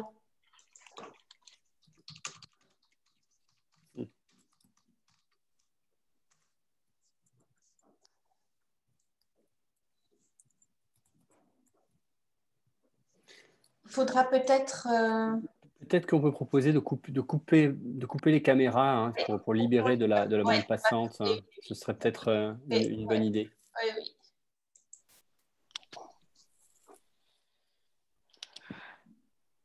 Vous m'entendez avec le casque ou non? Ah, Ça y est, on t'entend. Oui, oui, ah, on, on, va libérer un peu. Euh, on, va, essayer de, on va essayer de couper un maximum les, les caméras. Anissa, si vous pouvez. Hein. Euh, aussi couper votre vidéo. Comme ça, euh, on, libère normalement un peu, de, un peu de place, un peu de flux pour la voix de Julia et son image. On t'entend. Vas-y. Vous m'entendez? Oui, pas de souci. Bon, là, je suis vraiment, j'ai l'impression d'être sous l'eau complètement. Mais non, pas du tout. On te voit et on t'entend. Oui, mais alors, je reprends donc le, le cette, euh, euh, ce parallèle entre 62 et 2019, 62 territoires libérés, 2019 peuple libéré, euh, qui n'est pas du tout euh, sporadique, qu'on retrouve assez souvent ces premières semaines du Hirak et qu'on peut lire aussi sur les réseaux sociaux. J'avais noté aussi par exemple au mois de, mars, mars 62, l'indépendance en marche, mars 2019, la démocratie à l'horizon. Le second exemple que je vais vous euh, présenter, c'est donc cette série de dates, 80, le printemps de l'espoir, donc 2001, le printemps noir, 2019, le printemps de la, victoire. Or, dans cette logique de transposition, euh, on voit bien comment effectivement le répertoire contestataire passé s'inscrit dans le présent par le rapprochement des dates. On le voit aussi par la reprise euh, des slogans et des chansons. Et ce qui m'avait énormément marqué, c'était que la première marche à Alger, le 22 février 2019, on entendait par, par, les, hommes surtout, mais les femmes qui sont descendues un peu plus tardivement dans la rue, euh, les slogans euh, traditionnels du répertoire contestataire kabyle, donc Oulesh Smahulesh ou Pouvoir assassin. Et ce qui était assez remarquable, c'est que si ces formules ont suggéré un parallèle de lutte et réactivé ces mémoires du passé, elles sont surtout permis de, transcender la spécificité mémorielle régionale pour une forme d'identification à une cause commune et transversale, et donc à une cause, on peut dire que c'est des slogans qui ont été nationalisés. La transposition comme torsion du temps n'investit toutefois pas que l'époque ou les époques révolutionnaires. Désolée. En amont, la colonisation et en aval, la guerre civile travaillent également le temps projeté du Hirak. Alors, par exemple, qui se revendique du fils, qui euh, était présente dans les marches et qui euh, s'est remise en scène au rythme de Darula Islamia, euh, l'État islamique, en mimant les codes corporels et vestimentaires des années 90, est une illustration, même si une illustration minoritaire, et qui a par ailleurs été très peu reprise dans les justement comme image d'emboîtement du, passé et du présent. La guerre civile comme la colonisation sont surtout présentes, il faut le dire, en termes d'héritage expérientiel, c'est-à-dire en vertu des traces laissées au niveau du vécu subjectif et des consciences collectives. Le traitement dégradant. Je, prendrai quelques exemples pour, euh, qui m'ont permis de, penser cette, euh, cette, dynamique de la, transposition. L'un de ces exemples, c'est le traitement dégradant qui est subi au commissariat par des militantes interpellées le 13 avril lors d'un rassemblement devant la et mis en parallèle avec les pratiques d'intimidation utilisées par l'armée française pendant la, pendant la guerre de, la guerre d'indépendance, la guerre de libération nationale. Également, la répression des manifestantes ou encore l'interdiction d'une partie de la ville pendant les marches par vouloir de, du feu chef d'état-major, euh, Ahmed Gaïd Salah, sont décriés comme des stratagèmes coloniaux bien connus qui renvoient à la bataille d'Alger et au quadrillage rang voulu par le général Et puis encore, le spectre de la guerre civile revient au moment où la, pression s'amplifie, s'accentue, et donc il y a des arrestations par kidnapping, où les militants arrêtés ne donnent plus de nouvelles pendant 24 à 48 heures. Et là, on parle à nouveau de, pratiques connues, qui sont les pratiques, qui étaient les pratiques de la, donc mises en place pendant la guerre civile. Et un autre parallèle qui est intéressant, parce que là, cette fois-ci, il euh, articule guerre civile et, euh, guerre coloniale, euh, a été proposé, on va dire, dans le Hirak parisien, après l'arrêt des marches, la suspension des marches pour raisons sanitaires en Algérie, par un groupe qui se nomme Double Rupture, donc ni, ni DRS ni islamique, et qui a instauré un parallèle entre l'OAS et le DRS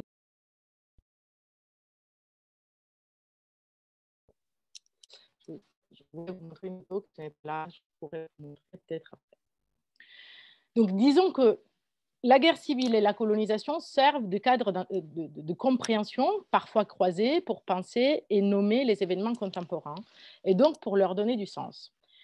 Des moments historiques de plus connus aux plus occultés font donc surface pendant les Irak, ils ressurgissent, ils sont identifiés, nommés, ils sont mis au cœur d'un ou de plusieurs contre-récits qui bousculent le récit officiel, les ignorant euh, la plupart du temps.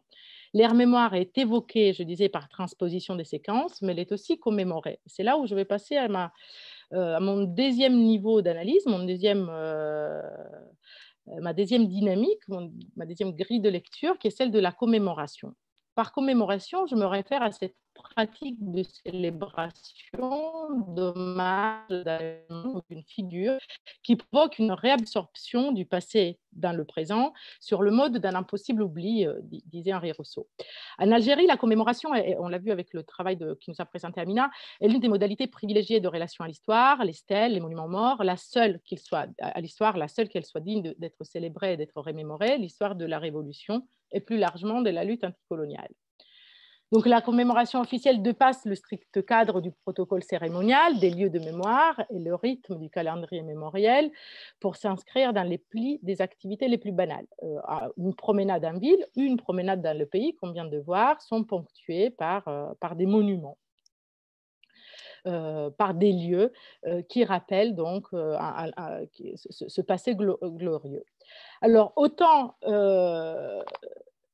il, y a des traces de la Révolution, autant il n'y a aucune trace ou des traces inaccessibles, inaccessibles pardon, euh, Amina vient de le dire, ni plaque ni stèle, qui rappellent les, autres moments historiques du pays, ceux qui ont suivi 1962, à savoir la répression. Enfin, je, ne citerai que les principales, il y en a plein, mais enfin, disons, pour, pour, reprendre quelques bornes chronologiques, octobre 88, euh, déjà le printemps 80, octobre 88, euh, la guerre civile ou encore 2001.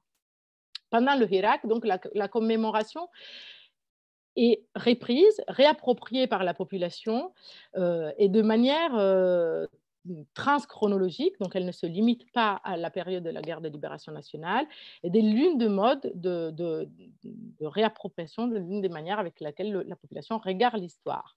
Donc il suffit de, de relever la de la révolution euh, ce sont quelques photos des marches, principalement d'Alger. Il y aura une photo de marche de Tizi où on, voit effectivement l'honneur qui est fait aux héros de la Révolution, mais également la place accordée aux disparus, les disparus de la guerre civile,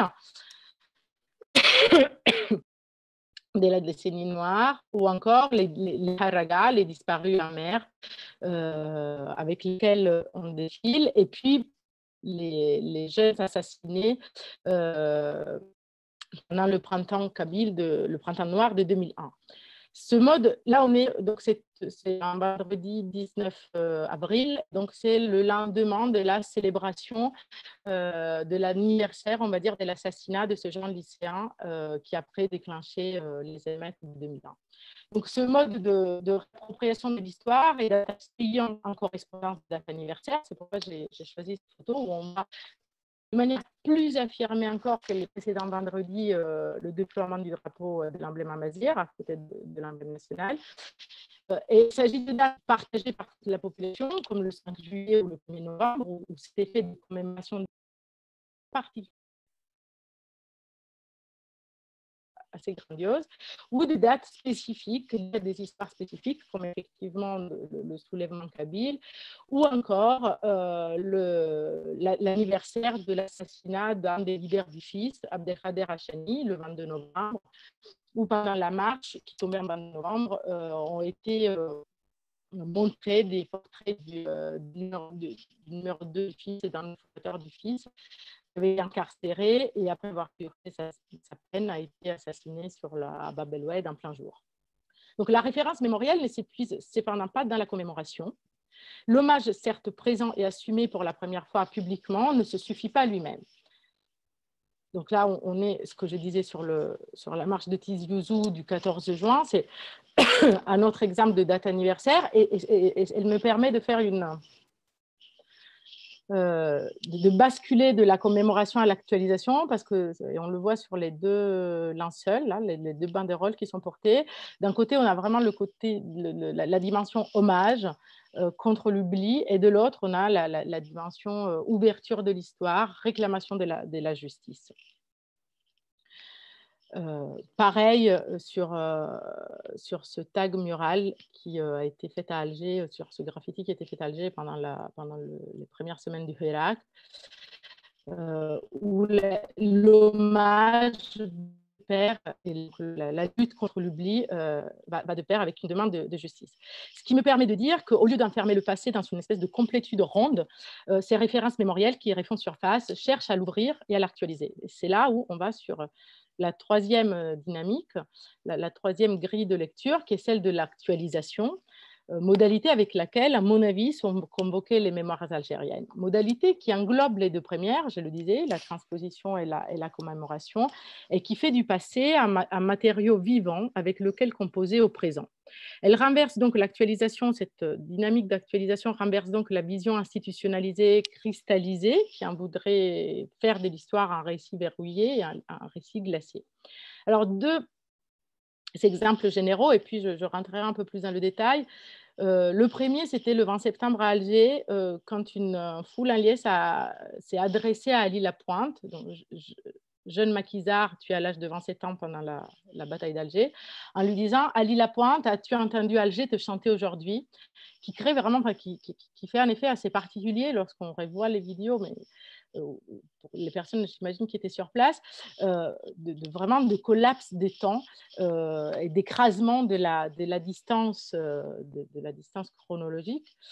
Euh, et la deuxième, c'était le peuple a gagné la bataille d'Alger. Ce sont deux références qui étaient faites à ce moment-là, au moment où le chef d'état-major, donc Ahmed Gaïd Salah, avait interdit Alger euh, aux militants venant de l'extérieur, donc avait interdit l'accès euh, venant d'autres régions et d'autres villes, avait interdit l'accès à Alger, et qui sont des, illustrations remarquables de cette ouverture, non seulement des possibles, je dirais, mais aussi du champ d'expérience.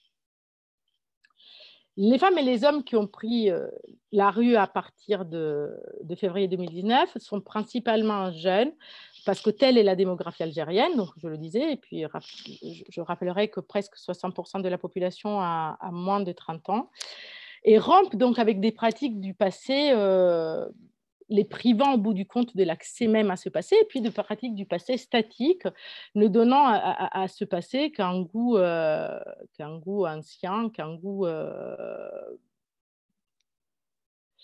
euh, comment dirais-je, de quelque chose qui, qui n'est plus vivant. Voilà, un goût rince. Au contraire, ils, ils, veulent ils, veulent ne plus être donc des, des, spectateurs de leur propre histoire, mais ils veulent se l'approprier, contribuer à l'écrire, et là où il est nécessaire, la corriger. C'est ainsi faut comprendre qu'il porte, qu'il percevait comme un carcan idéologique, voire un fardeau, la révolution, et puis l'intérêt qu'il porte aux, événements qui, sont, euh, euh, qui, se sont, euh, qui ont suivi et qui sont passés par la, par la suite. Dans ce sens, on doit comprendre, à mon avis, la place des, effigies, des portraits des chefs du FLN, des martyrs, euh, et également des figures clés, parfois contrastées, de la Révolution.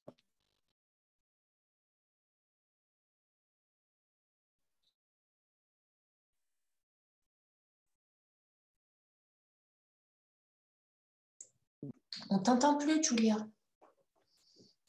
Julia, on t'entend plus. Là, pour le coup, ton image est figée. Tu m'entends? Oui. Là, ça pose un peu de problème parce que la voix est un peu altérée. Là, c'est bon? Euh, Moi, je t'entends. alors, très bien. Allez, reprends. Euh, vous m'avez perdu à quel moment? On t'a un peu perdu. Euh, hop. Tu, tu, tu, tu m'as perdu à quel moment? Juste il y, a, il y a 40 secondes. Vas-y. Bon, mais c'est pas très grave.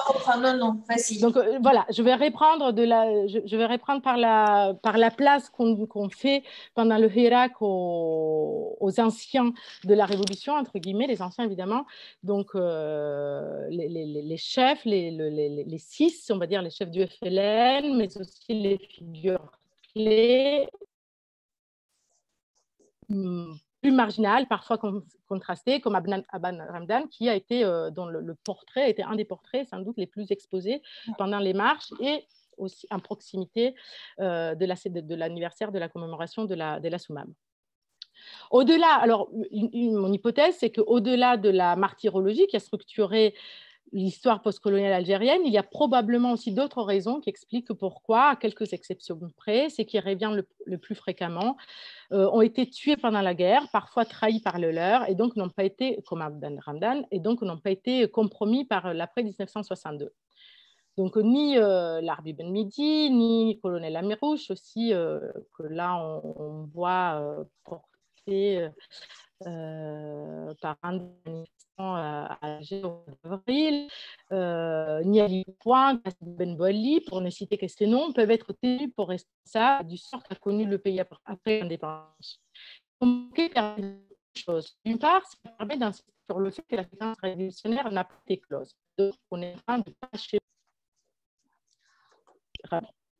on t'entend très mal, Julia. Il y a un problème, je pense que la bande passante et notamment les images euh, qui défilent, ça pose à peu près le même problème que pour tout à l'heure pour Amina.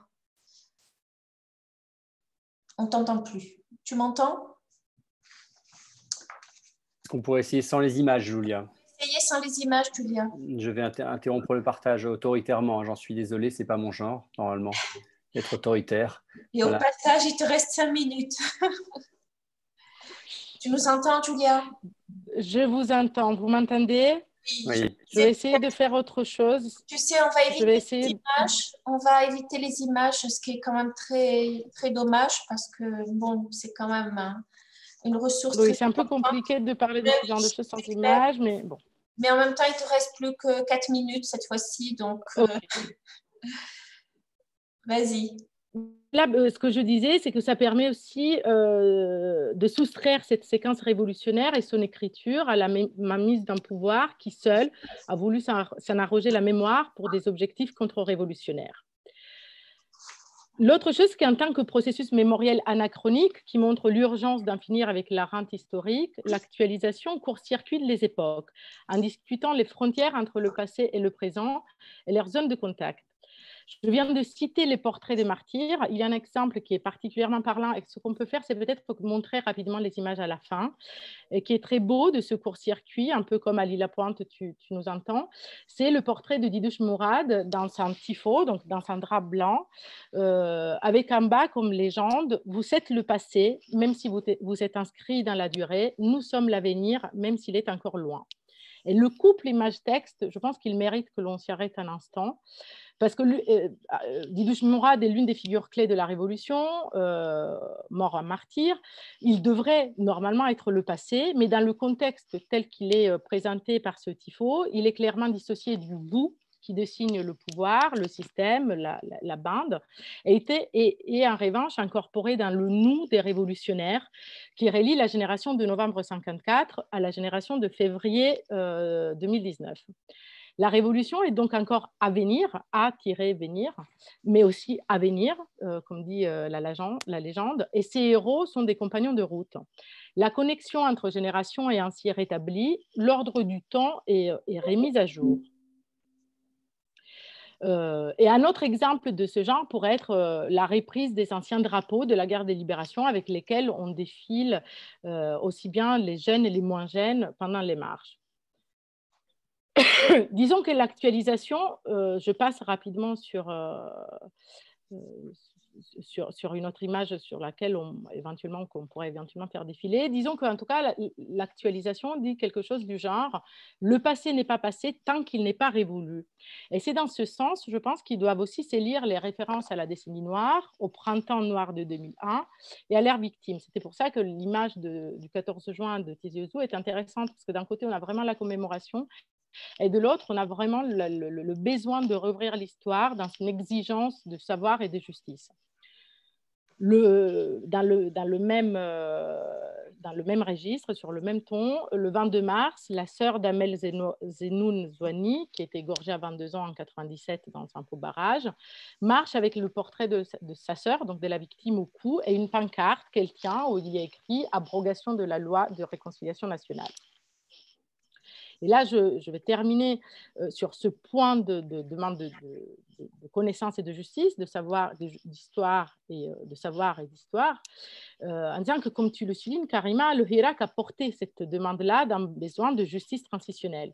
Et il a porté pacifiquement et transversalement, faisant ainsi émerger des voix qui ont été suffoquées par la loi de la concorde civile et par la loi de la réconciliation nationale.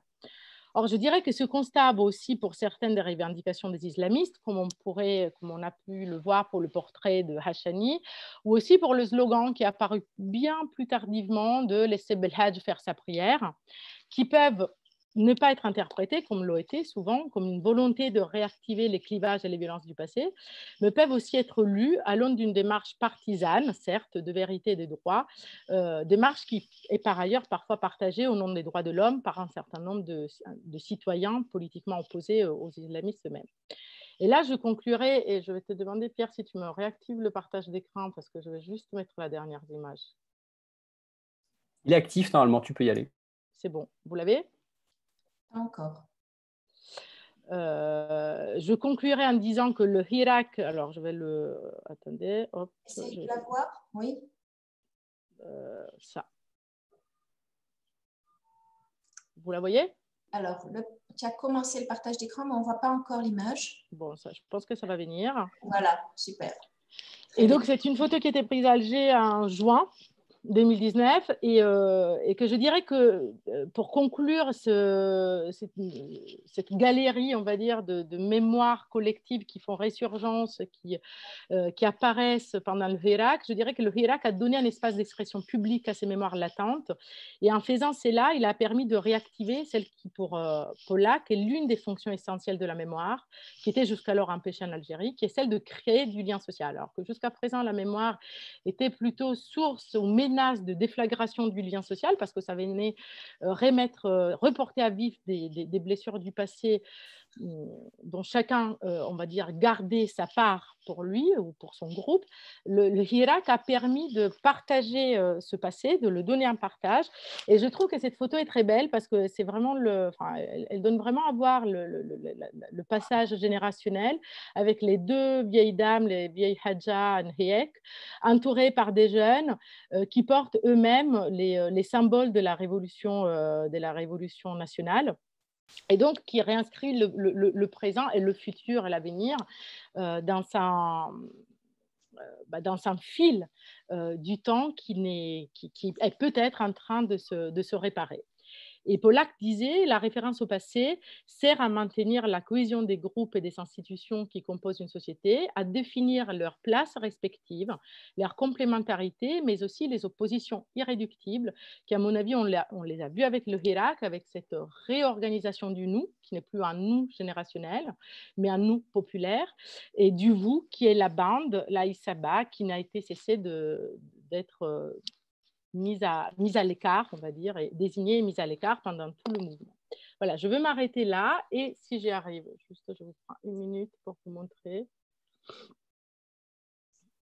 Non, ça, c'était pas ça que je voulais vous montrer, c'était pas ça non plus. Voilà, c'était cette, euh, ce, ce, tifo donc de, de Mourad avec, euh, avec cette légende que je trouvais très belle, vous êtes le passé, nous sommes l'avenir. Didouche Mourad est l'avenir parce que ces idées ce sont les idées d'avenir.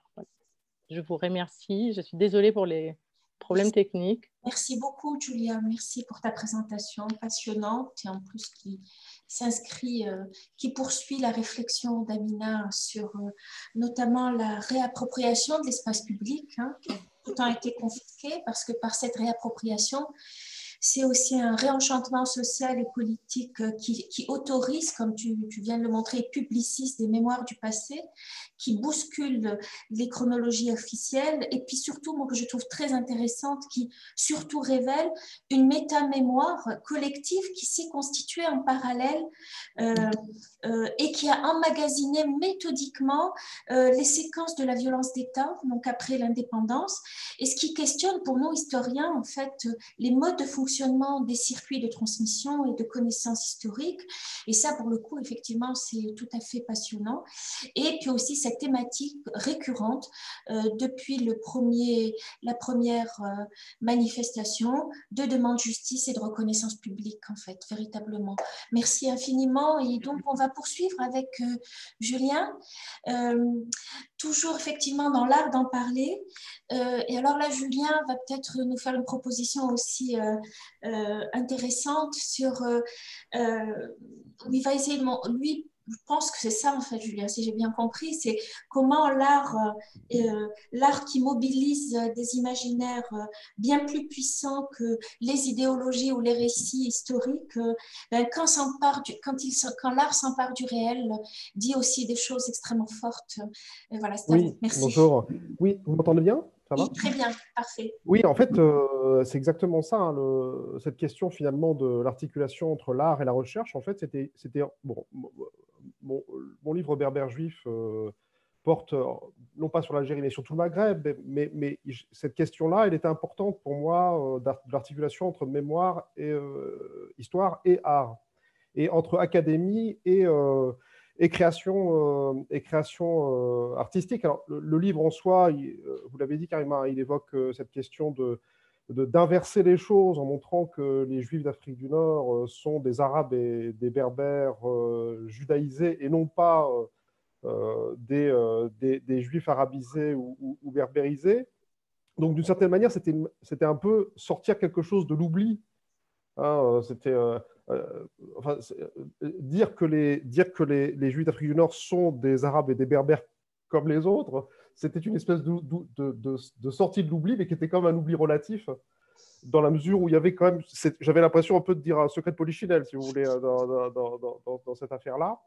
Et quand même, la question de l'art, je l'avais posée un petit peu dans, tout le début du livre, parce qu'il m'a toujours semblé que les artistes et les arts permettent un accès au réel au moins aussi juste, voire plus, que euh, le permettent les chercheurs en, sciences sociales, entre guillemets, et en tout cas plus vite.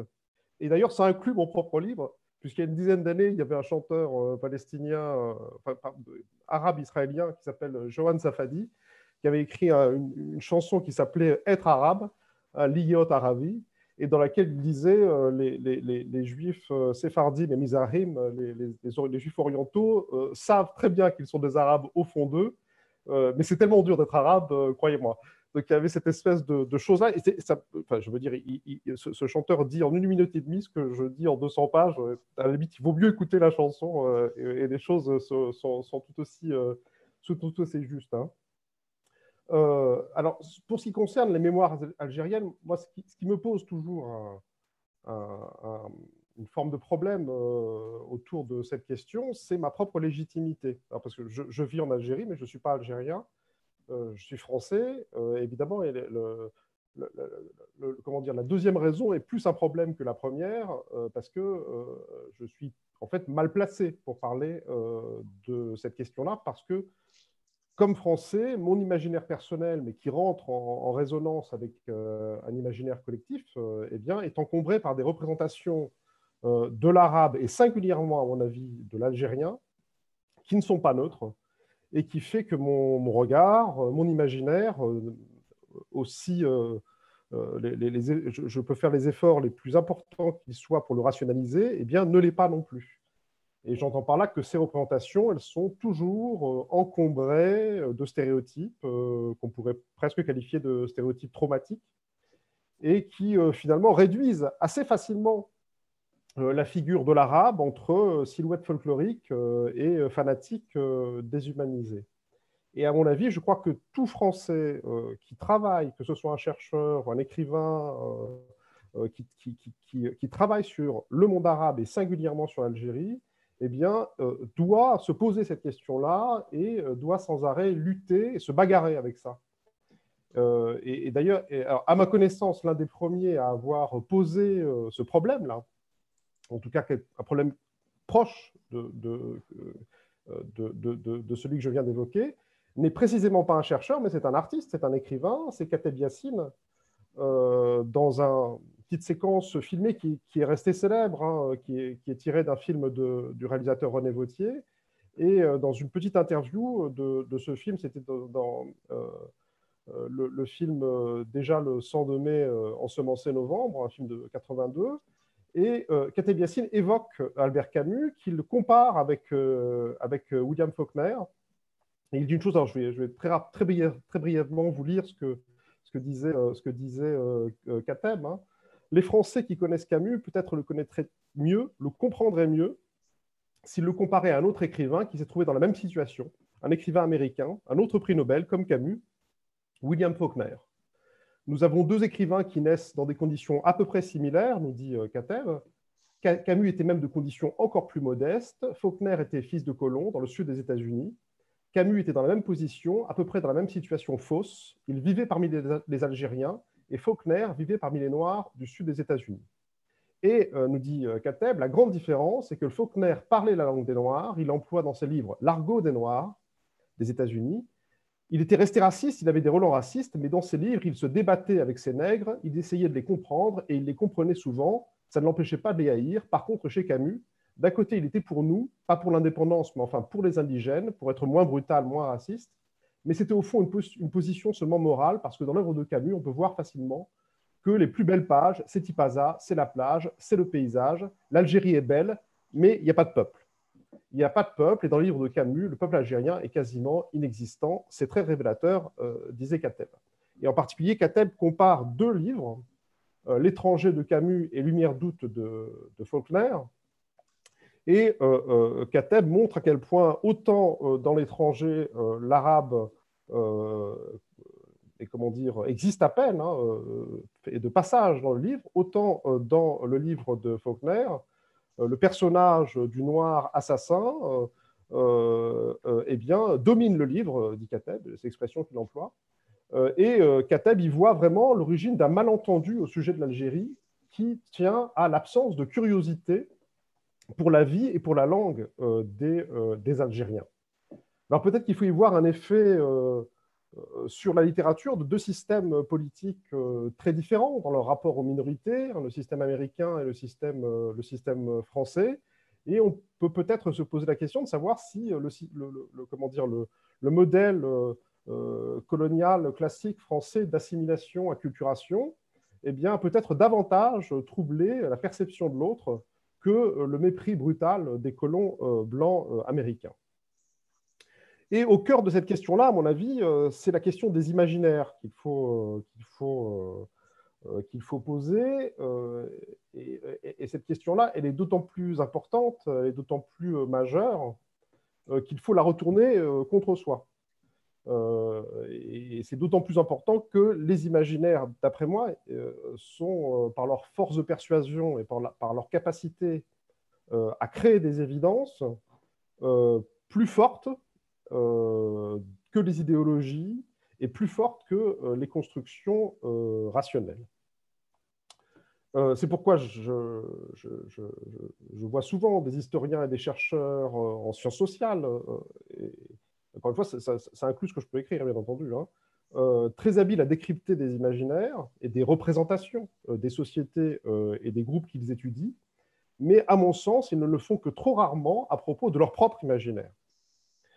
En revanche, là, et là, on a une démarche qui est complètement différente par rapport aux artistes, et c'est toute la force des artistes euh, euh, d'être au contraire très attentifs à scruter leur propre imaginaire, sans précisément ressentir le besoin de l'objectiviser pardon, euh, et de le neutraliser.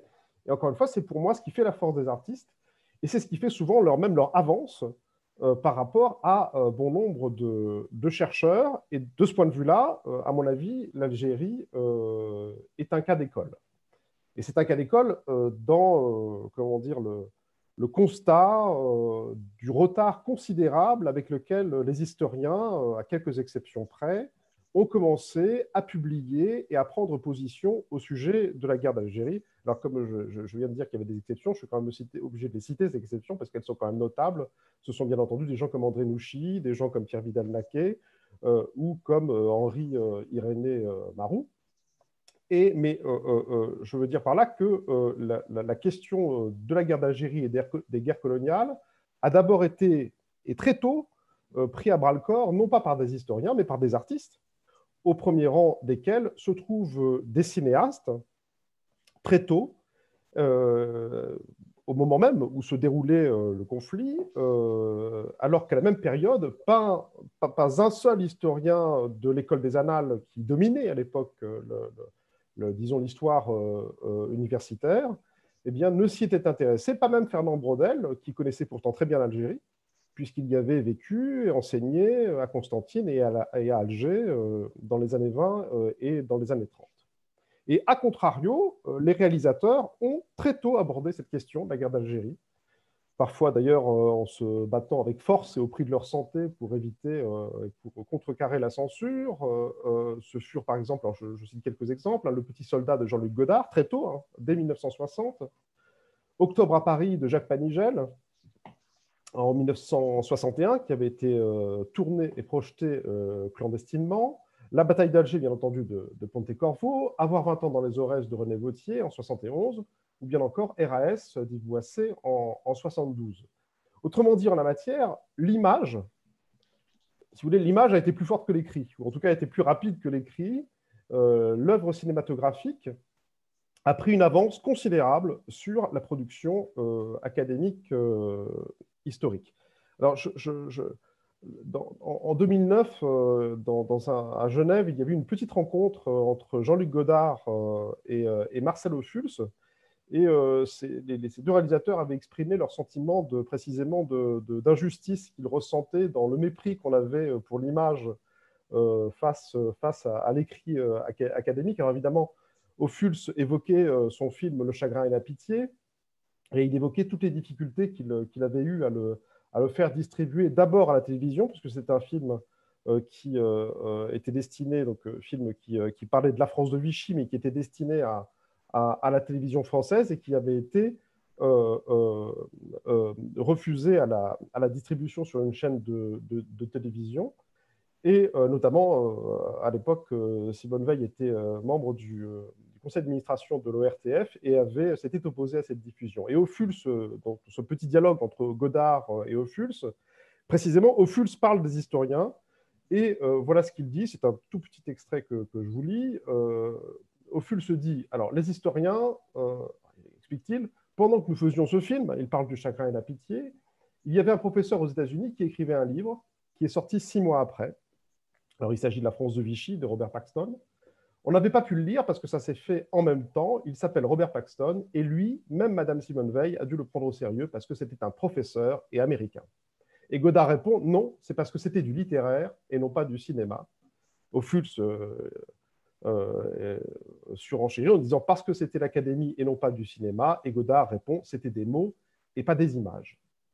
En matière de production euh, éditoriale euh, écrite, il faut souligner par ailleurs que les premiers livres à avoir, euh, et le premier livre à avoir abordé une question aussi importante que celle des ratonnades anti-algériennes de masse réalisées par la police française à Paris le 17 octobre 1961, eh bien, est un roman, un polar, hein, de 1983, le, le, roman Meurtre pour mémoire de Didier Deninx.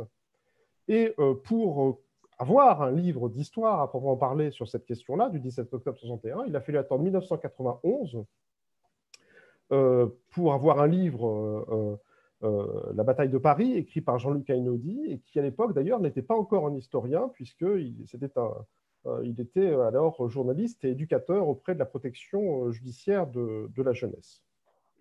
Alors, je ne suis pas trop rapide, là, ça va? J'ai l'impression de parler très vite. Euh, parce que quand on n'a pas d'interlocuteur, c'est tout compliqué. euh, oui, le, le, oui, l'autre point sur lequel je voulais revenir, c'était sur cette distinction qui est devenue, euh, à mon sens, une doxa entre histoire euh, et mémoire.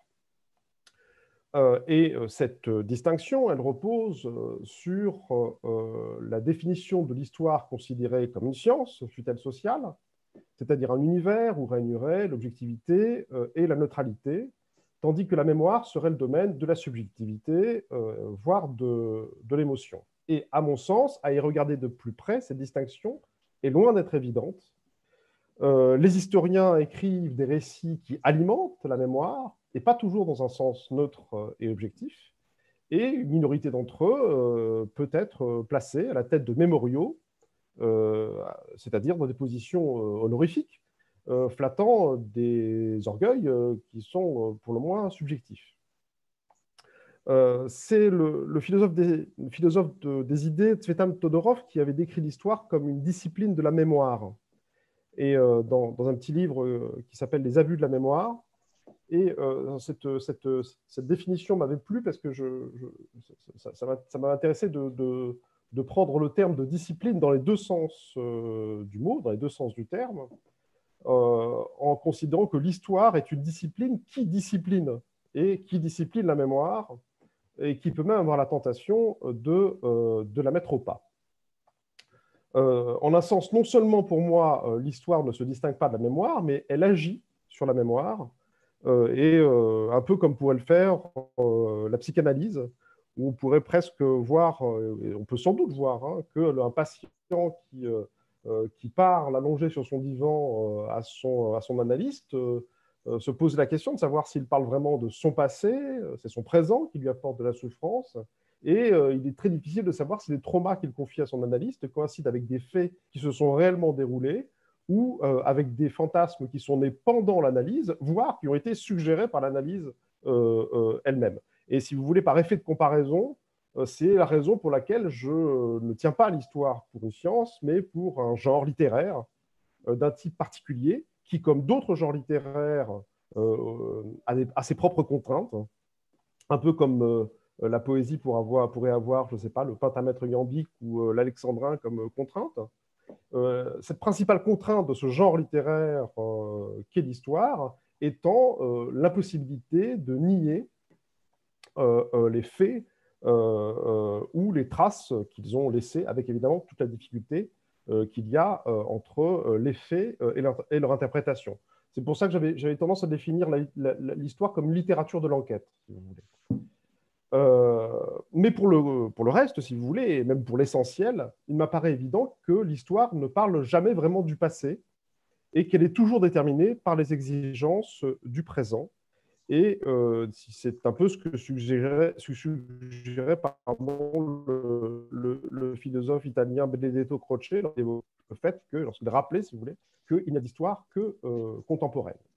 Autrement dit, pour moi, un accès à une vérité peut tout aussi bien être permis par d'autres genres littéraires, comme le roman ou la poésie, ou par toute autre forme d'expression euh, artistique, et à titre personnel, j'ai toujours été étonné par des expressions. À mon avis, il faut s'interroger d'ailleurs sur ces, sur, ces expressions-là, françaises, courantes, telles que tout ça c'est du roman ou c'est de la poésie, qui sont évocatrices systématiquement de discrédit et de manque de, sérieux. Et euh, à mon sens, je suis persuadé que Gustave Flaubert ou Claude Chabrol nous en apprennent au moins autant sur l'histoire et la sociologie de la bourgeoisie que beaucoup de textes, académiques. Alors, comme j'enseigne euh, au collège euh, et au, lycée, euh, je, suis évidemment obligé d'évoquer précisément des programmes scolaires. Et d'abord parce que ces programmes, sont aussi des formulateurs de doxa. Et dans les programmes français d'histoire en classe de terminale, alors pas les nouveaux, mais les anciens, tels qu'ils figuraient jusqu'à l'année dernière, il y avait un chapitre d'ouverture qui s'intitulait L'historien et les mémoires. Alors, avec un choix euh, laissé à la discrétion du professeur entre soit l'historien et les mémoires de la Seconde Guerre mondiale ou euh, l'historien et les mémoires de la guerre d'Algérie.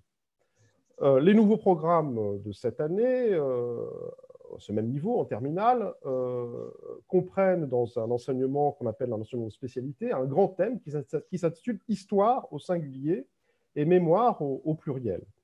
Et moi, je m'interroge toujours sur la question de savoir pourquoi l'historien ou l'histoire est écrite au singulier et mémoire au pluriel. Le fait que les mémoires soient plurielles euh, ne me dérange absolument pas, j'en conviens parfaitement. Mais pourquoi l'histoire est-elle euh, considérée comme étant euh, singulière? Et si la mémoire dépend bien d'une perception et de points de vue dont on comprend qu'ils sont différents d'un individu ou d'un groupe à un autre, la vraie question qu'on doit se poser, c'est en quoi est-ce différent pour, euh, pour, euh, un historien, ou plutôt pour les historiens, les historiens euh, étant pris dans leur travail dans des champs de force qui sont loin d'être neutres? Alors, à titre de, comment dire, de, oui, presque pratiquement de, pratiquement de, de, conclusion, ou en tout cas de suggestion, je, sur la question des mémoires algériennes, je vois deux chantiers d'investigation et de création susceptibles de s'ouvrir un en Algérie et l'autre en France. Alors là, je, vais faire un truc qui est complètement détestable, c'est-à-dire que je vais suggérer, je m'apprête à suggérer aux Algériens comment étudier leur propre histoire, ce qui est presque une démonstration que je suis français. Euh, Donc je, voilà, cette petite, cette petite mise au point euh, euh, faite, c'est évidemment une simple suggestion, mais ce, ce, chantier me semble important qui consiste à, à dégager l'Algérie, et d'ailleurs de manière plus large le Maghreb, de son rapport à l'histoire française. Et pour cela, de recentrer les énergies sur l'histoire ou sur les histoires qui ont précédé euh, la, colonisation. Alors, bien entendu, le récit de la révolution algérienne, il est évidemment constitutif de la construction nationale en Algérie. Il secrète des mythologies nationales qui rentrent en effet de miroir, d'ailleurs, avec les mythologies nationales françaises, qui sont elles aussi faites de, de récits de résistance et de gestes, euh, et de gestes révolutionnaires. Et euh, pour autant, euh, et, par effet de conséquence, la, centralité de la guerre de libération nationale, qui est omniprésente dans les programmes scolaires algériens, ne permet jamais de se séparer de l'histoire française. D'où sans doute l'intérêt, et d'ailleurs ce qui se fait évidemment, hein, de porter son, son, regard également avant l'arrivée des Français. Ce qui implique bien entendu de rompre avec une conception téléologique d'une nation algérienne millénaire, ce que n'est aucune nation, qui trouverait son aboutissement dans l'indépendance de 62, et d'autre part qui permettrait de faciliter une appropriation de la pluralité linguistique, religieuse et culturelle de l'univers euh, maghrébin en le dégageant de, tout nationalisme étroit. Alors à ce titre, la rénovation qui est en cours actuellement de la, et la toute récente réouverture au public du Palais du Dey en haut de la Casbah d'Alger peut s'inscrire dans cette perspective. D'ailleurs, c'est intéressant parce que le, en écoutant Amina, il n'y a pas très longtemps, je suis allé voir le, justement le Palais du Dey qui vient de réouvrir il y a, deux, trois semaines. Et il y a, il y a ces, ces, ces, ces, constructions faites d'échafaudage qui sont là, qui, sont, qui, sont, qui, soutiennent l'opération de rénovation au milieu desquelles on, peut visiter donc, cet endroit assez extraordinaire en haut de la Casbah. L'autre chantier, et celui-là, il m'intéresse, en tout cas, j'ai moins de complexe à l'évoquer parce que euh, c'est un chantier qui est central, à mon avis, en France, c'est celui de l'impact durable euh, de la guerre d'Algérie sur la France et sur un imaginaire français euh, persistant. Et je reste persuadé que la très contemporaine histoire de France, pour ne pas dire son histoire immédiate, dans son rapport avec les minorités d'origine immigrée et avec les minorités musulmanes, doit être réexaminé au regard des survivances traumatiques liées à la guerre d'Algérie. Euh, si on reprend le concept de, l'historien euh, euh, germano-américain George Moss, celui de brutalisation qu'il avait forgé à, propos des deux guerres mondiales, il sera à mon avis intéressant d'observer en quoi la guerre d'Algérie a brutalisé les rapports humains, individuels, sociaux et politiques, non seulement pendant la guerre d'Algérie, mais aussi et peut-être surtout après.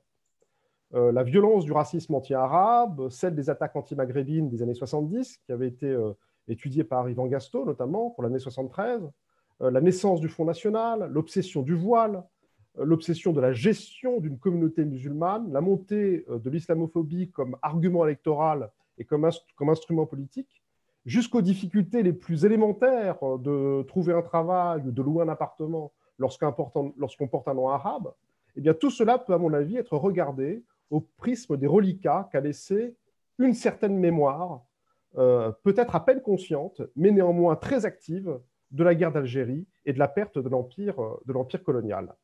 Et là encore, le cinéma et la littérature ont pris de l'avance sur les, études académiques, à mon sens, puisque dès 1975, c'est-à-dire en pleine flambée de violences racistes euh, en France, eh bien, le cinéaste Yves Boisset avait montré dans le film Dupont-la Joie l'impact de la guerre d'Algérie sur la brutalité dans le civil, plus de dix ans après l'indépendance. En 2005, c'était le réalisateur autrichien Michael Haneke qui, dans Caché, évoquait ce même héritage colonial de la brutalité dans les rapports euh, aux immigrés maghrébins et à leurs descendants en France.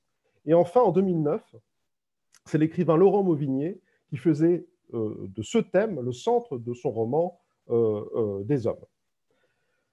Voilà, j'en ai fini. j'en ai fini. Hein J'avais pas d'image. Euh, mon, flux, a été. Euh, voilà, euh, c'est une autre façon, c'est un autre art d'en parler. Absolument, pour reprendre le titre de notre table ronde.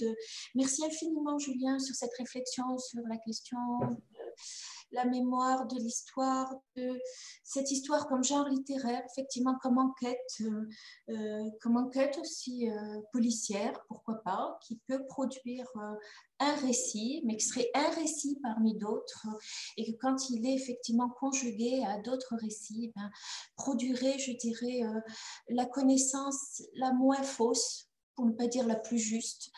Et euh, sur ces questions, effectivement, pourquoi mémoire au pluriel, pourquoi histoire au singulier, bon, les choses commencent à bouger quand même pas mal. On s'aperçoit aujourd'hui comment, dans cette capacité à juxtaposer des récits, euh, cette espèce de polyphonie, pas d'ailleurs toujours polyphonie, parce que les récits peuvent être extrêmement discordants, mais qui pourraient juste être audibles pour le, le maximum de personnes, parce que c'est ça aussi notre notre préoccupation.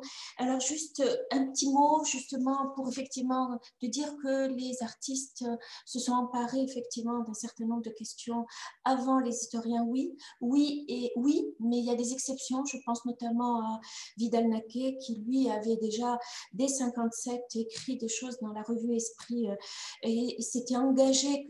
Alors est-ce que c'est l'historien qui s'engage ou le citoyen? Je n'en sais rien, mais en tout cas l'un avec l'autre, le travail euh, de l'enquête enquête qu'il a faite euh, d'ailleurs dans, son, euh, dans la disparition de Maurice Audin euh, en 1958, dans ce livre magnifique, L'affaire Audin, où il fait son enquête. C'est une enquête, c'est exactement ça. Remarquable. Et il a été le premier, justement, en, 1962, à, face à la raison d'État, donc à a exprimé son engagement contre la torture de l'armée française il y a alors, voilà, c'est l'historien qui parle, mais l'historien, quand il s'engage, peut donner aussi des choses absolument remarquables. En tout cas, mille merci, Julien. Pour vous faites bien de, le préciser parce qu'effectivement, j'ai cité très rapidement, mais ils, sont, quand même fondamentaux. Effectivement, euh, c'est des gens comme Vidal Naquet, comme Henri René Marou, qui, l'a payé très cher, hein, qui, a été, qui, avait été perquisitionné, hein, son domicile a été perquisitionné euh, à Paris. Mais alors lui, justement, son, correspondance a été publiée plus tard, mais où justement il écrit à ses parents, dans ses parents, où il raconte ce qui se passe dans les camps euh, de, je sais plus ça, j'ai oublié le nom en fait, c'est plus les, bon, bref, où il racontait justement comment lui a vu, a été témoin justement de l'expérience de la pratique comme outil de guerre systématique. Bon, voilà, il y a des choses aussi intéressant. Sinon, pas pour tirer la couverture vers nous en tant qu'historien en se disant on était les premiers, pas du tout, mais là, les choses sont, sont, sont, ce qu'elles sont. Il faut leur rendre aussi hommage, euh, bien, bien évidemment. Du coup, on va passer à Anissa parce qu'on va tirer, vous avez vu qu'on a commencé par le très très présent et on tire un peu euh, vers le passé avec Anissa qui nous propose justement une réflexion extrêmement intéressante sur les, mémoires en fait des espaces de relégation, les espaces euh, euh, liés à cette histoire de déportation justement à la fin du 19e siècle. Et où elle va elle va aborder cette, euh, à partir d'un lieu qui est le, la déportation à Sainte-Marguerite, euh, à partir de 1840, si mes souvenirs sont bons, à Anissa, et où justement elle mêle ce récit, elle, d'historien, le récit historique qu'elle a produit sur, à partir des témoignages, justement, des, des, archives qu'elle a eu à exploiter, avec le récit euh, d'Assia Djebar qui s'appelle L'amour, la fantasia, publié en 1985, qui est une sorte d'autobiographie où justement elle apporte, elle, par le, par le récit de sa mémoire familiale et de la transmission euh, transgénérationnelle, des éléments justement à cette histoire d'un espace de relégation à toi, Anissa. Merci. Allume, allume, ton, allume ton, ton micro. Ton micro, Anissa, allume. Juste, tu, tu actives ton micro. Tu le vois? Il est juste en bas sur ta gauche. En bas sur ta gauche sur l'écran. Tu as le petit micro à activer. Voilà, super. À toi. J'avais tellement fermé les petites boîtes. Non, tout va bien, on te voit. On se, on se retrouve par écran. Vas-y. Alors, euh, très heureuse d'être euh, avec vous. Euh, bon, je vais essayer de rester sur l'étude de cas dont on avait parlé quand on s'est vu l'autre fois, parce que ben, j'ai eu peu de jours aussi pour me, préparer. Donc, voilà, je sais que tu avais lu cette étude et, donc la question d'un récit par l'imaginaire par Assia Djebar et la question des archives t'intéressaient. Donc, euh, c'est ce que je voudrais vous proposer aujourd'hui à partir d'une étude qui m'avait été euh, demandée par la mairie de Cannes, aussi étrange que ça puisse paraître, parce que cette ville possède dans son territoire les îles de l'Érins et que dans une des deux îles, qui est l'île Sainte-Marguerite, il y a un fort royal dans lequel il y a eu des relégations depuis euh, plusieurs siècles, et en particulier à partir de 1841, euh, d'un arrêté euh, demandé par Bugeaud à partir du moment où il devient gouverneur général de l'Algérie. Il est sur place depuis plus longtemps, mais il devient gouverneur général fin 1840, et c'est un des premiers actes de vouloir déporter les Algériens des tribus. Je vais utiliser le mot tribu, euh, faute de, trouver un autre terme, et je prends les termes qui, étaient dans, qui sont dans les archives. Euh, il y a eu des déportations à l'île Sainte-Marguerite, qui possède donc ce fort royal, euh, qui ont commencé en 1841 pour, à la limite que ces prisonniers servent d'otages, si l'on peut dire, pour que les euh, tribus se, soumettent quand on enlevait soit un des chefs, soit tout un groupe social dans lequel il pouvait y avoir des femmes et des enfants. S'il y avait soumission, les prisonniers étaient élargis, comme on disait à l'époque, et euh, ramenés en Algérie. Sinon, euh, beaucoup sont morts sur place. Et une des choses que voulait la ville de Cannes, c'est enfin, c'est-à-dire on est quand même en 2000, on me l'a demandé en 2019, euh, pouvoir sortir de l'oubli un cimetière musulman qui contenait, selon eux, euh, des euh, dizaines de, personnes décédées sur place et peut-être plus. Donc, mon travail a commencé aux archives d'outre-mer à Aix et euh, j'avais des, des, comment dire, j'avais beaucoup d'éléments sur les déportations euh, puisqu'elles ont duré de 1841 jusqu'à la fin du 19e siècle. Elles ont suivi en fait ces insoumissions, ces insurrections qui montraient que l'insoumission était euh, quelque chose de récurrent, qui éclatait euh, régulièrement sur le territoire algérien.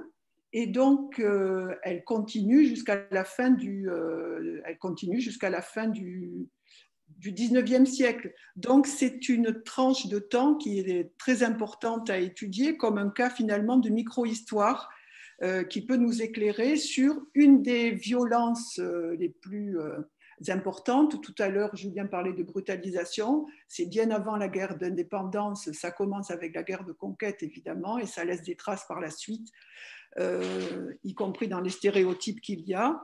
Mais en tout cas, cette brutalisation, elle est à l'œuvre pendant des décennies, puisqu'il y a régulièrement des déportés algériens qui arrivent à Sainte-Marguerite d'abord, ensuite dans l'île de, euh, en Corse, et plus tard en Nouvelle-Calédonie, comme vous le savez, avec les insurgés euh, kabyles. Donc, quand euh, j'ai quitté les archives d'outre-mer pour aller aux archives de Cannes, pour euh, comprendre si je pouvais trouver la trace des personnes décédées sur place, euh, j'ai consulté tous les actes de décès quasiment du 19e siècle. Ça m'a pris un certain temps et j'avais été étonnée. Euh, je vais juste me centrer sur une question. Hein. J'avais été étonnée du nombre de décès qui étaient de la famille des Berkani. Et je me suis demandé pourquoi est-ce qu'il y avait tant de décès euh, de ces, euh, de, ces gens. Et je me suis rendu compte en revenant sur les archives d'outre-mer, donc j'ai fait un travail de comparaison entre les deux, qu'en fait, euh, ils furent déportés en masse. D'abord, les chefs de la Zawiya des Bedi Menassel, c'est un, une région qui est près du Dahra et de Cherchel, et cette famille dirigeait cette Zawiya. Euh, euh, huit chefs de ce groupe ont été déportés en 1843.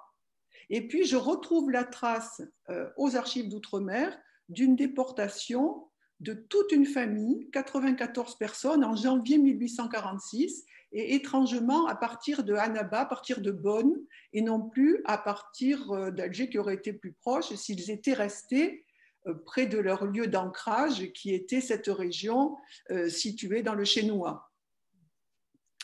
Euh, ce que les archives d'outre-mer montrent, c'est qu'aucune demande de grâce, aucune maladie, aucune mort n'est venue au bout de la conviction du pouvoir et de Bugeaud qu'il fallait les libérer. Alors pourquoi parce qu'il était considéré comme une famille extrêmement puissante, et d'autre part, parce qu'un des Berkani était calife de Abdelkader, et que euh, c'est quelqu'un qui n'a jamais voulu se soumettre, même si sa famille était déportée à Sainte-Marguerite. Donc, finalement, Bugeaud avait euh, pratiqué cette déportation pour euh, vraiment écarter une famille puissante et à la fois essayer de, soumettre euh, ceux qui restaient euh, sur place et en particulier le calife sans y parvenir. Alors, ce que montrent les archives, c'est que cette famille, avant d'être déportée en France, a été déjà déportée en Algérie et que Bugeaud avait organisé la translation, c'est un terme qui était utilisé aussi comme déportation. Il avait, organisé la translation de toute la famille pour la déraciner du lieu dans lequel elle avait une certaine influence religieuse et politique, et il avait amené dans la région de Bonn, je lis les archives, établie dans un village construit exprès pour elle, où des rations de vivres lui étaient allouées chaque jour. Donc on les fait vivre artificiellement dans une région qui n'est pas à l'autre, en les clochardisant, si on veut aussi, pour utiliser un terme qui a été utilisé euh, par la suite, puisqu'ils ne peuvent subsister qu'avec des subsides de, de la France.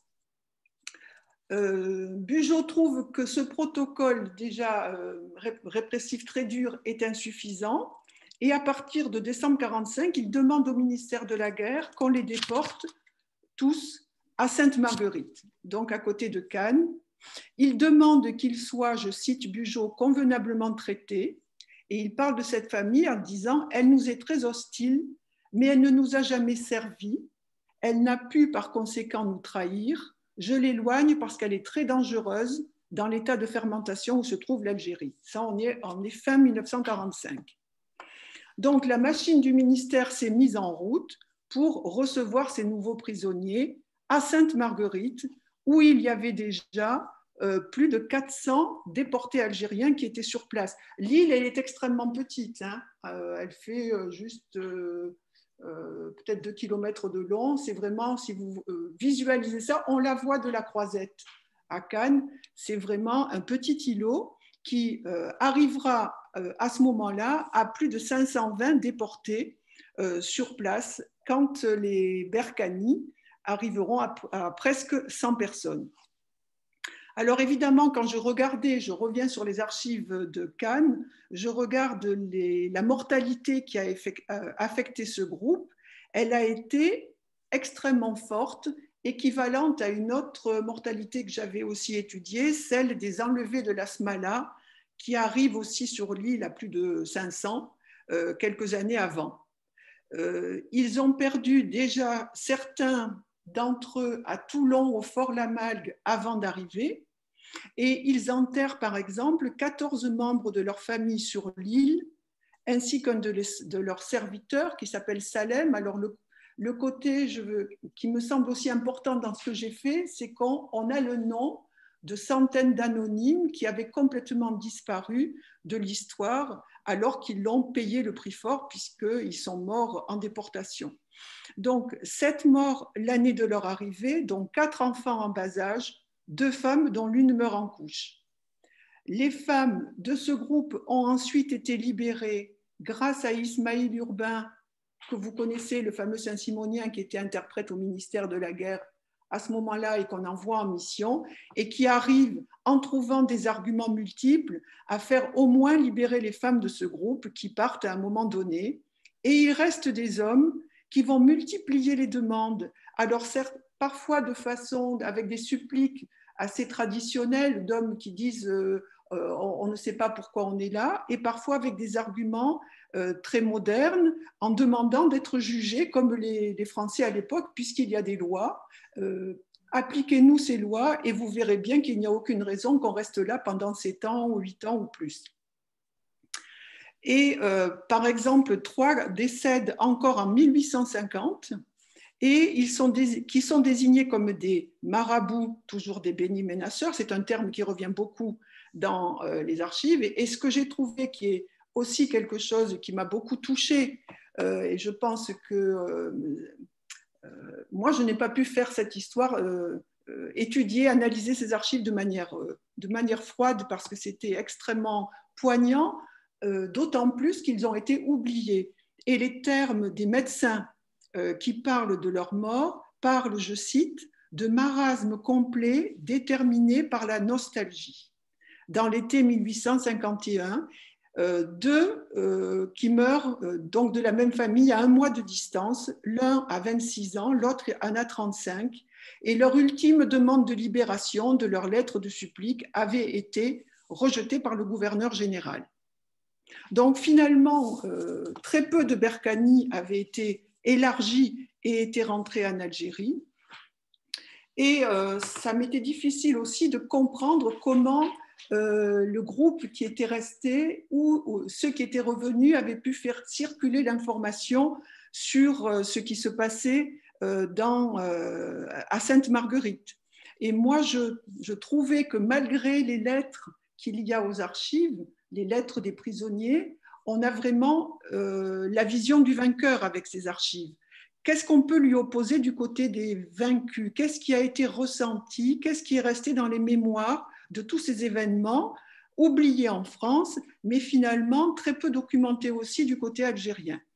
Et euh, au-delà du travail des historiens, il m'a semblé intéressant de reprendre des récits plus sensibles qui montrent la, transmission d'une histoire et d'une mémoire, alors non seulement des massacres qui ont eu lieu, des destructions, mais aussi du malheur de la déportation, inscrit dans une sorte de grand registre mental des fléaux de la guerre. Alors évidemment, ce sont les, euh, ce qu'on sait de la, euh, de la déportation en Nouvelle-Calédonie qui est le plus présent, mais la déportation à Sainte-Marguerite et le fait que beaucoup y soient morts traversent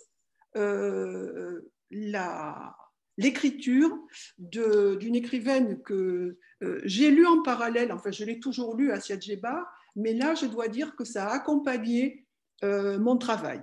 Et donc, à partir du moment où je me suis rendu compte qu'il y avait une façon différente de documenter cette histoire, plus que complémentaire à ce que je trouvais aux archives, j'en ai fait un des axes de mon travail et de la restitution que je voudrais en faire si euh, on arrive à faire ce qui est prévu pour Cannes, c'est-à-dire par la suite une exposition et un travail euh, de publication. Et donc, dans L'amour, la fantasia, qui est euh, ce livre, moi j'ai l'édition de poche, euh, la, première édition est sortie chez La en 1985. Euh, c'est vraiment une réappropriation extrêmement troublante. Assia Djebar alterne à la fois les récits de la conquête et une part extrêmement présente et intime de son autobiographie avec les souvenirs de petites filles issues de la tribu des Bénis Menaceurs et qui a grandi puisque la famille ensuite était revenue, avait quitté la région où on l'avait parquée euh, en 1845. Euh, ce qui restait était revenu et elle avait grandi dans euh, ce territoire du Chénois. et dans un chapitre qui n'est pas le premier, puisqu'elle alterne les récits de son histoire, les récits de la guerre d'indépendance et ceux de la guerre de conquête. Elle écrit par exemple, je cite parce que je n'ai pas d'image à montrer, mais je pense que les images littéraires sont aussi importantes. En avril 1842, la Zawiya des Berkani est brûlée. Femmes et enfants errent sur les neiges des pentes montagneuses.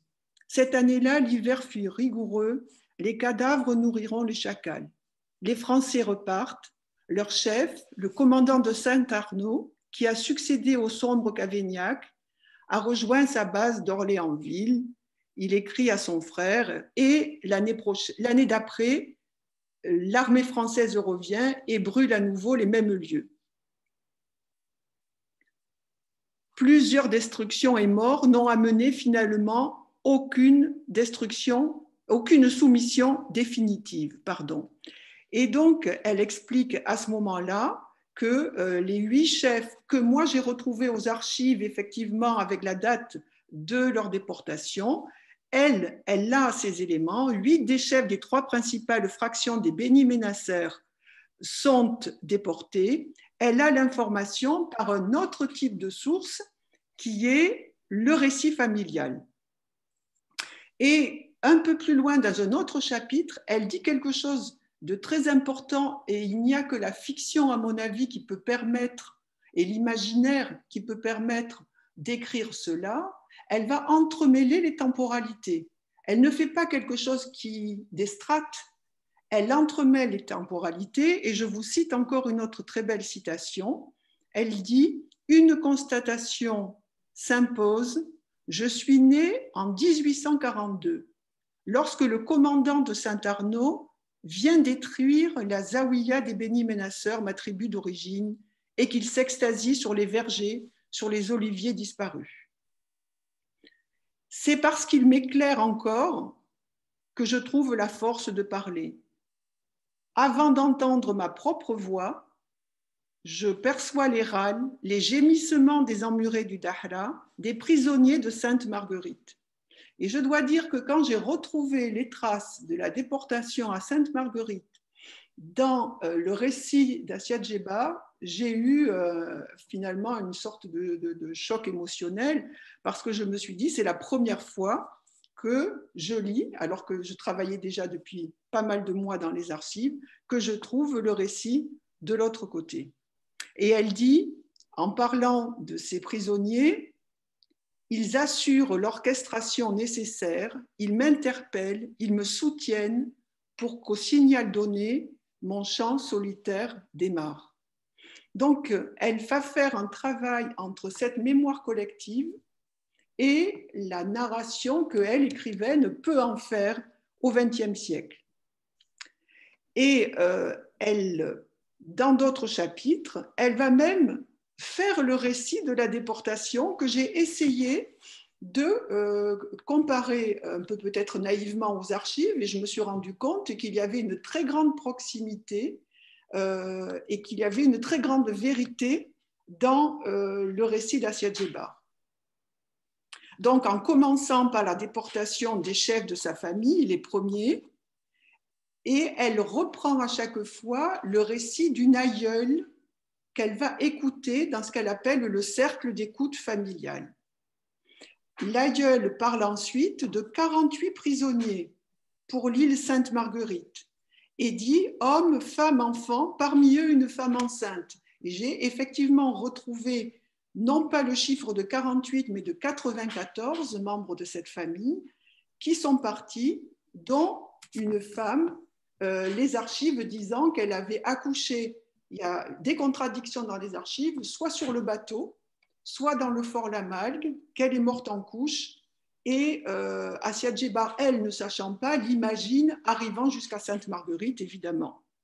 Et elle dit d'elle, euh, ce qui est intéressant, j'y viendrai à la fin, c'est la place de la voix et de la parole des femmes dans le récit. Et je pense que là aussi, elle restitue quelque chose d'essentiel parce que face à un récit non seulement officiel mais masculin, je la cite, elle dit, Je t'imagine, toi, l'inconnu, l'inconnu au féminin, dont on parle encore de conteuse en conteuse, au cours de ce siècle qui aboutit à mes années d'enfance car je prends place à mon tour dans le cercle d'écoute immuable, près des monts menaceurs. Je te recrée, toi l'invisible, tandis que tu vas voyager avec les autres jusqu'à l'île Sainte-Marguerite, dans les geôles rendues célèbres par l'homme au masque de fer. Ton masque à toi, ô aïeul d'aïeul, la première expatriée, est plus lourd que cet acier romanesque.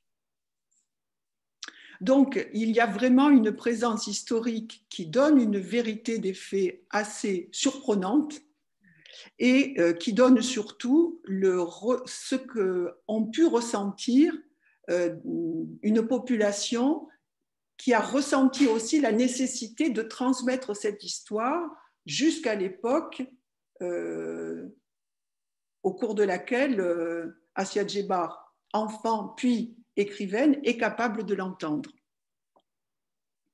Il y a quelques erreurs factuelles euh, qui sont compréhensibles puisqu'elle n'a pas regardé les archives. Par exemple, elle date de 1843, la déportation des chefs de la Zawiya plus la déportation familiale. Il y a des années qui passent entre les deux, mais en tout cas, euh, la vérité des deux déportations est avérée par les archives aussi bien que par euh, sa fiction.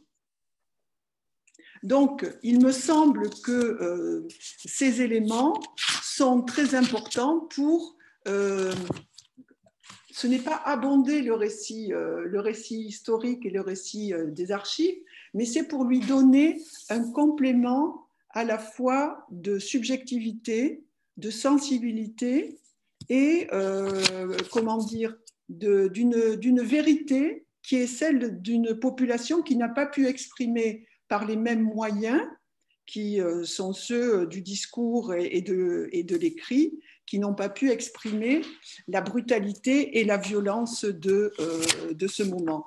J'ai retrouvé le travail d'une sociologue, par exemple, qui a travaillé sur l'histoire dans l'œuvre d'Assia Djebar et qui dit par exemple, je la cite.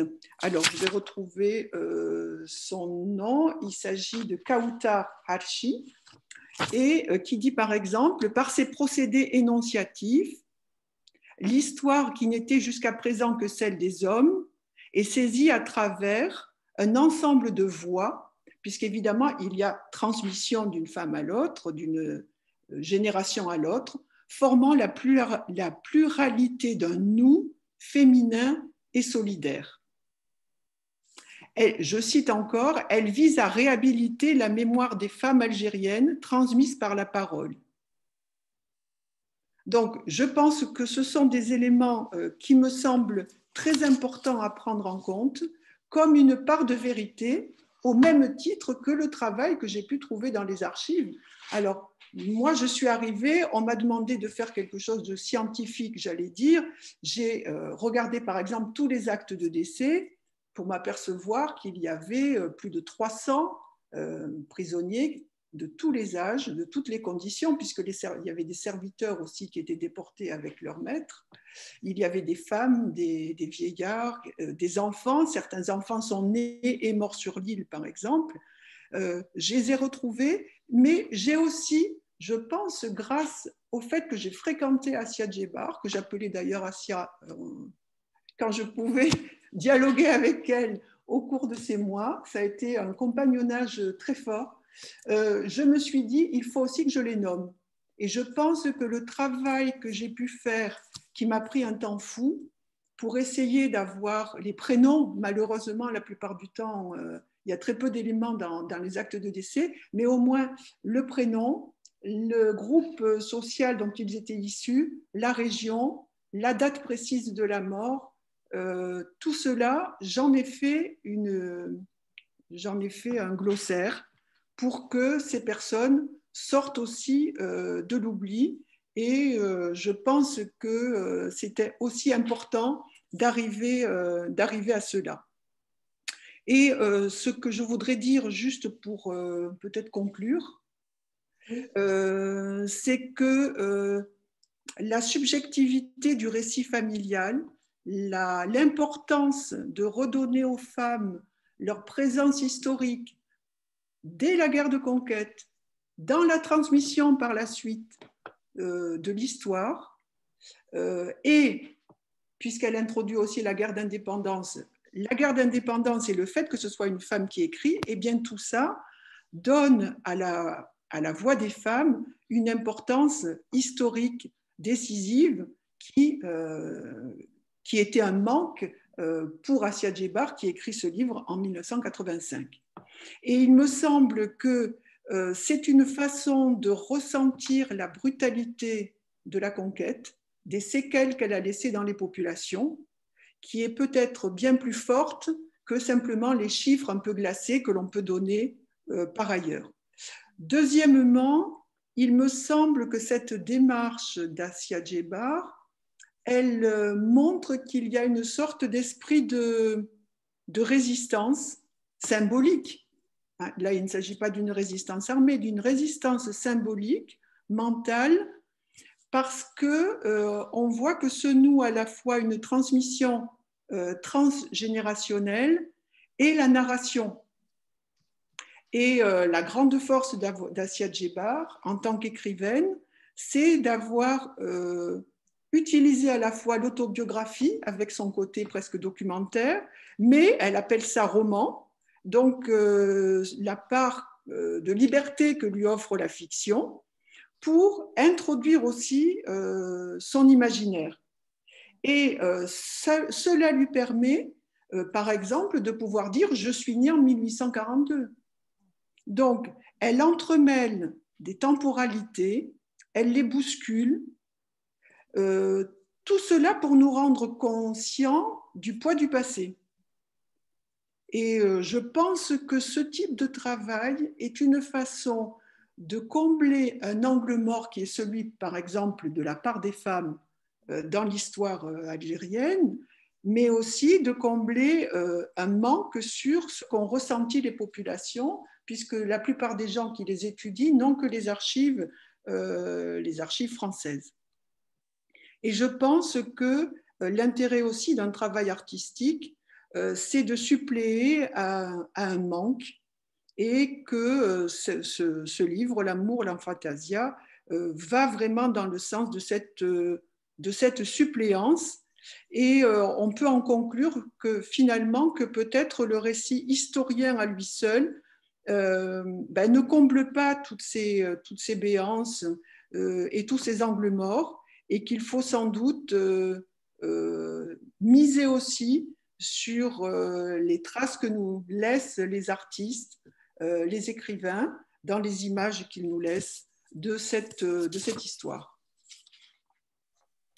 Voilà, j'ai euh, peut-être été trop rapide. Euh, non, mais c'était tellement dense. Euh, et puis, tu viens de nous livrer, en fait, d'une façon magistrale, en fait, un exercice historien où tu restitues cette expérience presque sensorielle, en fait, par les échos à la fois que tu as eu dans le corpus d'archives que tu as exploité comme une historienne confirmée, mais aussi euh, euh, par euh, l'ouvrage d'Assia Djebal qui donne en fait la parole aux victimes, la parole aux voix des victimes en fait, et, du coup ça aboutit à une, ben, je sais pas, cette espèce de, justesse de récit, voilà, qui est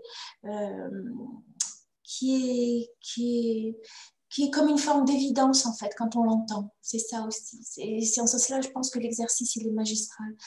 Et puis surtout cette approche, euh, et tu as bien raison de le souligner, cette approche genrée totalement absente euh, dans les travaux que l'on connaît, en tout cas dans les travaux historiens. Hein. C'est quand même étonnant que ce soit une sociologue qui euh, aborde cette question-là, tu vois, qui décrypte l'apport des dans, dans, dans cela.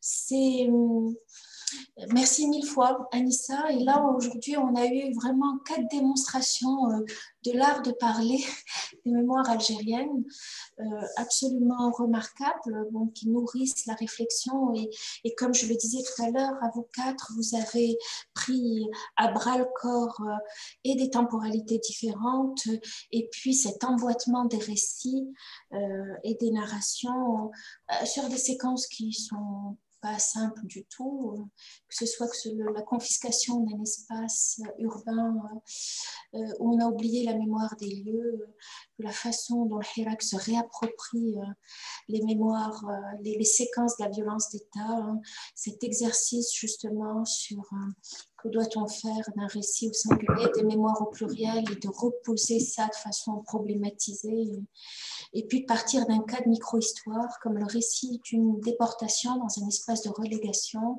et qu'on l'entende de part et d'autre. Je vous remercie infiniment. Moi, j'ai passé un excellent moment, et puis j'aimerais savoir s'il y a peut-être, il nous reste un tout petit peu de temps, Pierre, parce qu'on a commencé un peu tard, en fait. On a commencé avec un quart d'heure de retard. Il nous reste à peu près... Euh, 4 minutes, mais je ne sais pas si... Euh, non, mais je, pense qu'on peut prendre une dizaine de minutes peut-être pour échanger entre nous. Puis aussi, moi, j'avoue que j'ai vraiment envie d'ouvrir un peu la parole aussi à la, aux spectateurs hein, euh, pour, pour, savoir s'ils veulent poser des questions aux, aux, intervenants de la journée. Donc, euh, donc oui, une dizaine de minutes en tout cas. Ce serait bien. Alors certains participants, certains spectateurs souhaitent intervenir sur ces... Euh, je peux intervenir, vous m'entendez? Oui, Anissa. Euh, c'est, euh, bon, d'abord, j'ai beaucoup apprécié ce que dit Amina et, la série Extramuros que je connaissais bien et je trouve qu'elle en a très très bien parlé. et je voulais juste dire à Julien euh, que euh, euh, Vidal-Naquet, dans, dans, le film qui s'appelle Les Traces et l'oubli, qui, parle, qui est une sorte de mémoire artistique de la guerre d'Algérie, mais plus à partir des peintres qui sont beaucoup moins connus que les cinéastes, parce que ça n'a pas circulé en fait, et qu'en France, il n'était pas question de faire des expositions sur ces, sur ces questions pendant très longtemps. Et qu'après, c'était difficile aussi en Algérie, de, même s'il y a des œuvres qui concernent cette, questions en Algérie, elles étaient très peu montrées. Mais je me souviens de, il y a, il y a un très long interview de Vidal Naquet dans le film. Il s'est vraiment prêté au jeu de manière remarquable. Et il dit lui-même, nous n'avons, enfin, en gros, hein, nous n'avons pas mené, nous n'avons pas gagné la bataille de l'art parce que nous ne l'avons pas menée. Ce qui veut dire, il a une formule très intéressante qui dit pour nous, on était taraudé par l'idée d'apporter une preuve. Or, l'art n'est pas là pour prouver. Je résume un peu sa pensée, hein, mais comme j'ai vu ce film plusieurs fois, Karima le connaît, euh, je pense que euh, le, positivisme de l'historiographie française est tel, la question de, euh, tout ce qui était caché pendant cette guerre a fait qu'ils se sont vraiment focalisés sur l'idée qu'il fallait apporter une preuve par la démonstration. Et donc, il considère lui-même, il appelle ça la bataille de l'art, il dit je, on ne l'a pas menée en fait. Je voulais juste te donner. Ah, merci beaucoup. Par contre, je n'ai pas, pas, retenu le titre, s'il vous plaît. Le, film documentaire s'appelle Les Traces et l'oubli. Merci, Les Traces et l'oubli, merci. Alors, je pense que nous avons une question de la part du public, la mienne, mais je vais juste poser une question très rapidement à, à Anissa. Merci beaucoup pour rebondir un peu sur votre euh, remarque. En fait, vous avez publié, si je ne me trompe pas, en 2005, L'art et l'Algérie insurgés, les traces de, l'épreuve 54-62. Et vous avez aussi dirigé, je pense, un catalogue d'expositions hein, euh, au musée d'art moderne d'Alger, les artistes internationaux et la révolution algérienne. Et dans un, dans un livre qui, qui est issu d'une thèse euh, sur les damnés de l'histoire, les arts visuels face à la guerre d'Algérie, en introduction, on vous cite en disant que cette contribution, elle est fondamentale parce que c'est peut-être une des premières fois euh, qu'on voit apparaître ces artistes algériens aussi dans ce euh, discours. Mais en même temps, j'ai lu deux, trois lignes dans lesquelles on, dénonce un peu le fait que vos textes n'ont pas eu une réception vraiment importante en France. Est-ce que c'est vrai ou voilà, je voulais juste avoir votre retour par rapport à votre travail de recherche et, voilà, la réception française euh, bah, J'irai vite hein, parce que je n'ai pas, pas, trop envie de parler de moi. Bon, d'abord, euh, c'est peut-être lié aussi au fait que je n'ai pas fait de carrière universitaire. J'étais enseignante de, de collège.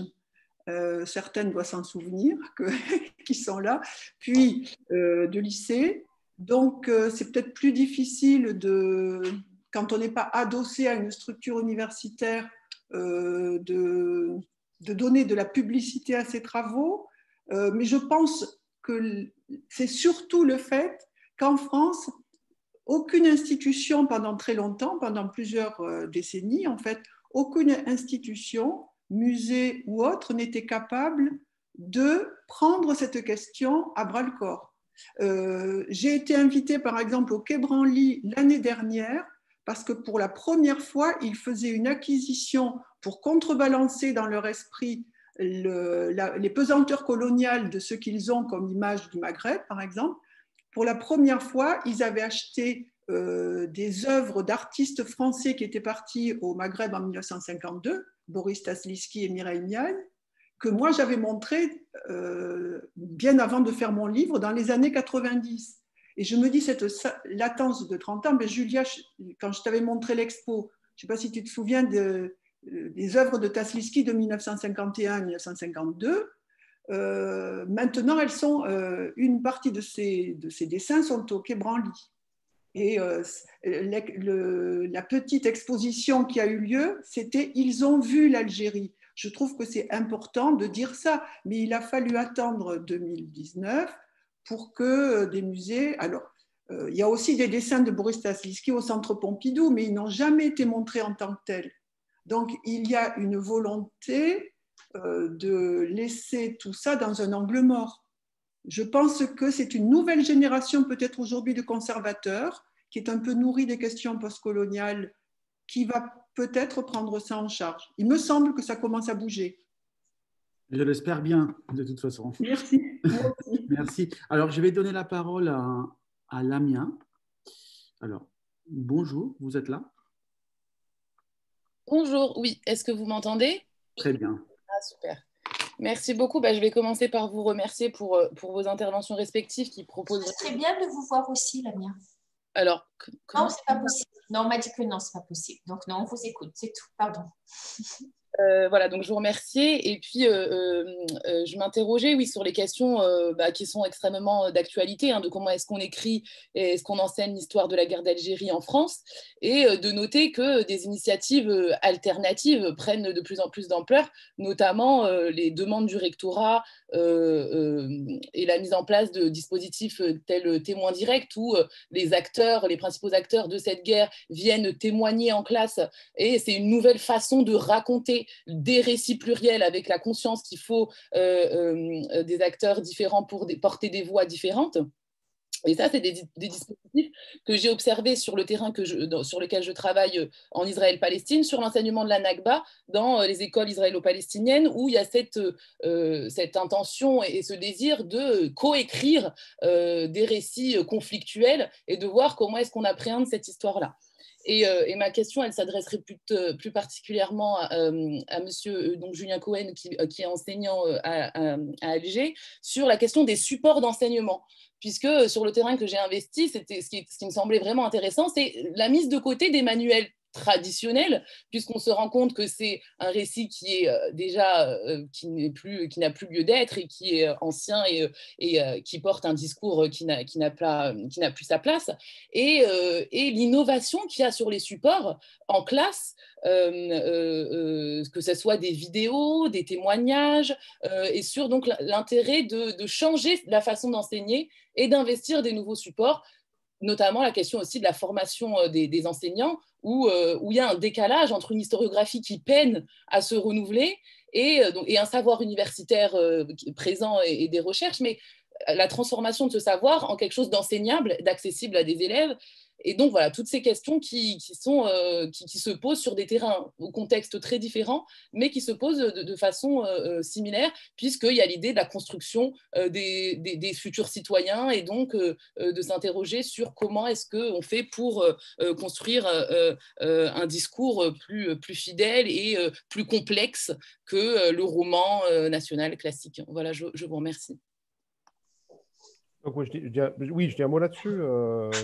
C'est une question très compliquée en fait, hein, parce que c'est une question euh, que, qui me taraude et que, je ne, qui, est y compris très compliquée pour moi. Euh, d'abord parce qu'il y a toujours quelque chose de, curieux. Alors jusqu'à présent, les programmes d'histoire, euh, il y avait cette fameuse question donc, sur les histoires et les mémoires, enfin historiens et, les mémoires. Et alors déjà, la, première curiosité, c'est que le, le, choix de la guerre d'Algérie était optionnel.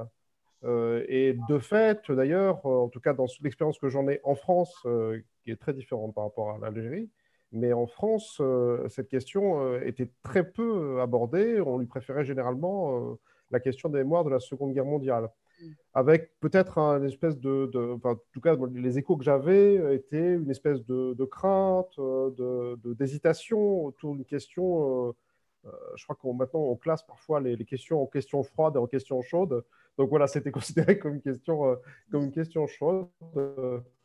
Euh, alors moi, moi j'ai des reproches à faire autour de, autour de cette question, même si c'est très bien qu'elle soit inscrite dans les programmes. Hein. Il vaut mieux qu'elle soit inscrite plutôt qu'elle soit absente. Euh, mais moi, le reproche que je lui ferais, c'est peut-être d'être trop axé sur la question de la mémoire, précisément. Ce qui mm. fait qu'en fait, on a une espèce de mosaïque de mémoire en disant, bah, après tout, voilà, il y a le point de vue des harkis, le point de vue des, combattants d'Afrique du Nord, le point de vue. Bon, tout ça est vrai, bien entendu, mais euh, euh, euh, il manque une espèce de d'engagement, en fait. Hein. Et en fait, je pense que la difficulté de la question de la guerre d'Algérie, c'est qu'en fait, pour, le, coup, je, vais me placer dans la perspective de Pierre Vidal, de Pierre Moi, je considère qu'on ne peut pas aborder la question de la guerre d'Algérie sans, sans la politiser. Voilà. Je, veux dire que c'est une question politique, il faut l'assumer comme une question politique. Et, toute la difficulté, elle est là. Elle est même plus importante, cette question-là, à mon avis, en tout cas plus complexe que la question des témoins. Parce que les témoins, effectivement, c'est toujours intéressant d'avoir des, témoignages vivants. Hein, de, euh, ça se fait d'ailleurs, hein, c'est très bien. Hein. Mais évidemment, il faut toujours aussi avoir un regard politique sur le témoignage, euh, et, peut-être même un regard psychologique sur le témoignage. Moi, j'ai un souvenir très précis euh, c'est pas un souvenir euh, vécu, mais c'est un souvenir de cinéma pour le coup, du, film de. Euh, ah non, j'ai oublié son nom.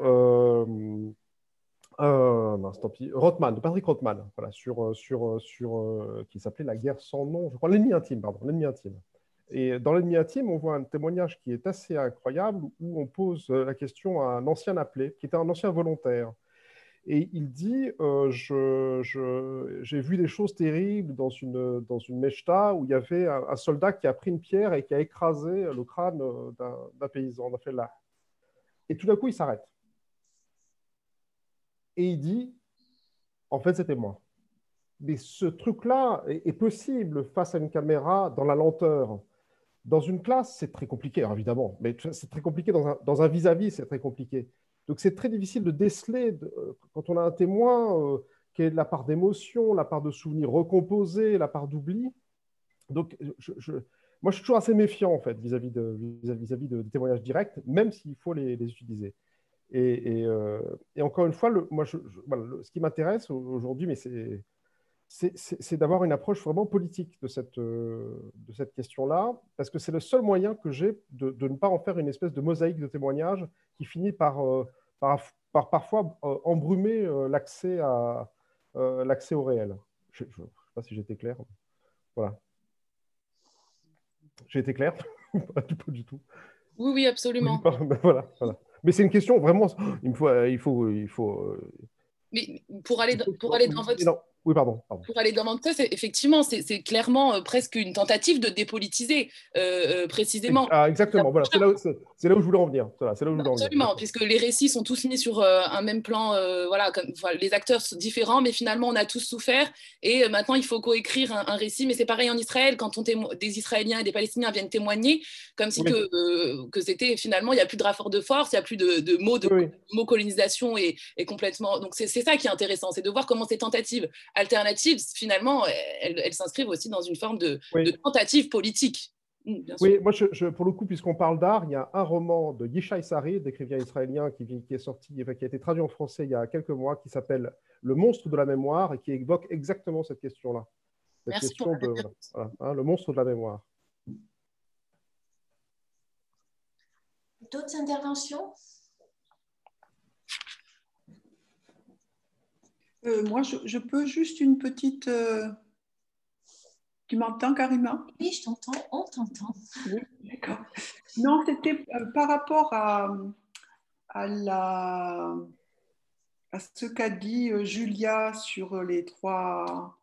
Voilà comment elle a, elle a vu ce, ce, moment. La question de l'actualisation, si j'ai bien compris, euh, moi, je me dis que l'actualisation de, cette histoire et la façon dont on peut se servir d'éléments euh, anciens, euh, elle est aussi redevable du fait qu'il y a quand même eu, même s'il n'y avait pas la possibilité de faire des manifestations du même genre à Alger, que le couvre-feu a duré quand même très longtemps.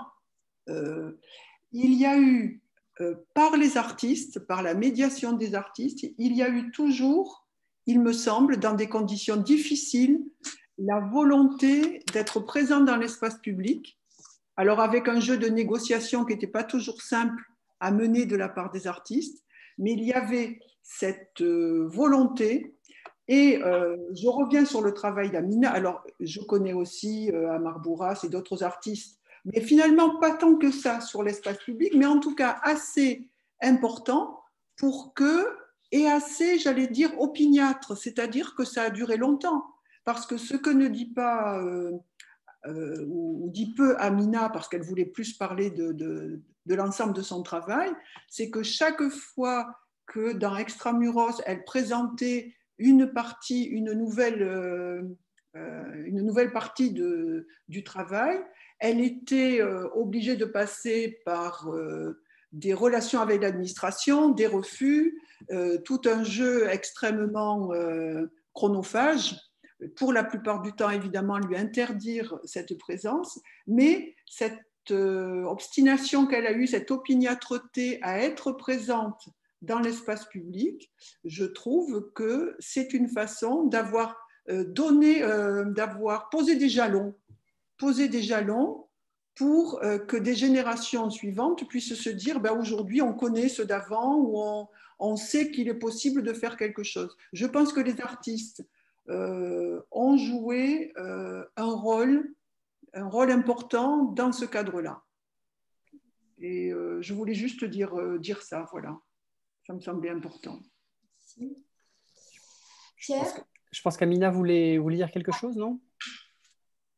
Non, j'étais en train d'acquiescer parce qu'effectivement, ce que disait euh, que, Anissa qui connaît bien donc, euh, cette partie-là de mon travail, euh, effectivement, donc c'était il y a à peu près 15 ans. Ensuite, on va dire que les choses se sont un petit peu détendues, que la rue était plus détendue, qu'il y a eu moins de crispation, on va dire, pendant, pendant quelques années, on va dire dans les années 2010, 2012, 15, etc. Bon, malheureusement, depuis 2019, depuis l'an passé, bon, on, a fait machine arrière et euh, maintenant tout est verrouillé. Mais effectivement, il y a eu une petite détente, on va dire, euh, pendant quelques années où les, artistes pouvaient, en tout cas, avaient au moins euh, le droit d'élargir leurs horizons et d'imaginer peut-être plus de choses. Donc moi, quand j'avais travaillé, c'était dans des, moments vraiment c'est difficile. Et bon, voilà, d'où la complexité. Et je vous dis, de toute façon, l'empêchement qu'a connu Extramuros recoupait de plein fouet, de toute façon, euh, toute cette problématique à laquelle je m'attaquais, moi. Euh, juste un petit mot, peut-être euh, peut-être qu'il faudra conclure aussi, Pierre. C'est reprendre ce que m'avait dit Anissa. Tu te souviens quand on avait discuté, on a déjeuné ensemble et tu avais dit dans ton dans ta présentation, Asiatic Bird dit Je suis née en 1840, mais elle a émis aussi le souhait de vouloir être enterrée à l'île Sainte-Marguerite, là où son ancêtre est décédé, c'est bien ça? Oui, elle, avait accordé, euh, alors en quelle année? Je ne me souviens plus en quelle année, elle avait accordé un entretien au journal La Croix, et euh, dans lequel évidemment on lui parlait plutôt du fait qu'elle était à l'Académie française, qu'elle avait énormément publié, qu'elle était euh, euh, adulée aux États-Unis, euh, etc. Donc, il lui offrait la possibilité de montrer un ego surdimensionné. C'est pas du tout ça qu'elle a fait. Elle a effectivement dit bon, quel était son parcours. Mais à un moment donné, elle parle de quelque chose qui était déjà très peu connu, et, qui était quand même quelque chose qui fâche aussi. Et donc, elle reprend l'histoire de sa famille, euh, d'avoir plusieurs ancêtres qui ont été euh, déportés, qui sont morts à Sainte-Marguerite, et elle dit elle-même qu'elle elle peut envisager, alors elle ne l'a pas fait évidemment, mais qu'elle peut envisager de les rejoindre.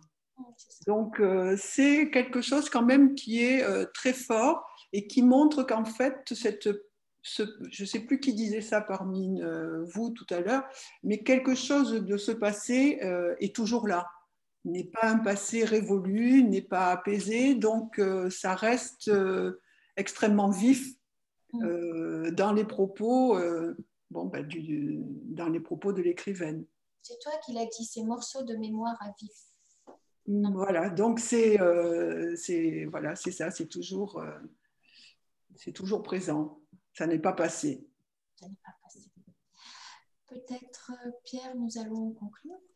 Oui, c'est toujours frustrant, bien sûr, hein, puisqu'on on aimerait rester un plus longtemps ensemble. Euh, ce, webinaire euh, s'est déroulé finalement très rapidement hein, quand on est en bonne compagnie, c'est toujours, le cas. Moi, il me reste euh, bah, à remercier vraiment euh, l'ensemble des participants, remercier Karima, euh, remercier les intervenants. Je pense que la, la mission est accomplie d'une certaine manière. vraiment, l'un des objectifs principaux de ce, projet Rue d'Alger, c'est bien d'aller examiner les, parce que je pense que Anissa Boyed a, utilisé l'expression d'angle mort. Hein. C'est vraiment euh, voilà, l'une de nos, l'une de, l'un de nos objectifs d'aller, d'aller examiner ces angles morts hein, des, récits sur le passé, ces angles morts de l'histoire, euh, et d'essayer de voir quelles, quelles, sont les traces qui, euh, qui perdurent jusqu'à, jusqu'à, jusqu'à nous.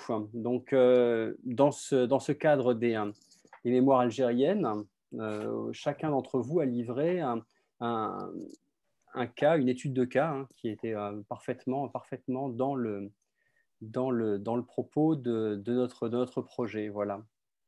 Donc, euh, je vais euh, sans doute mettre fin à, cette, à cet enregistrement et à, et à ce Zoom. Euh, en vous remerciant encore une fois, en remerciant les gens qui nous ont suivis, en indiquant, euh, comme il se doit, que la prochaine séance a lieu la semaine prochaine, jeudi prochain, et que nous parlerons encore de, de, ces, mémoires parfois oubliées, en tout cas qui sont retravaillées au présent, qui sont les, que sont les mémoires de, la période du fascisme en Italie autour d'un ouvrage, hein, Mémoire du Ventennio, qui, sera discuté, qui sera discuté jeudi prochain à partir de 13h30.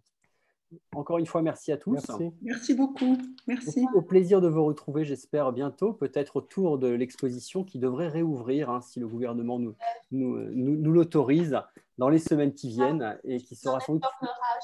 Oui, tout à fait. Voilà, merci, merci encore à tous. Merci à tous. Merci, merci. Au revoir. Au revoir.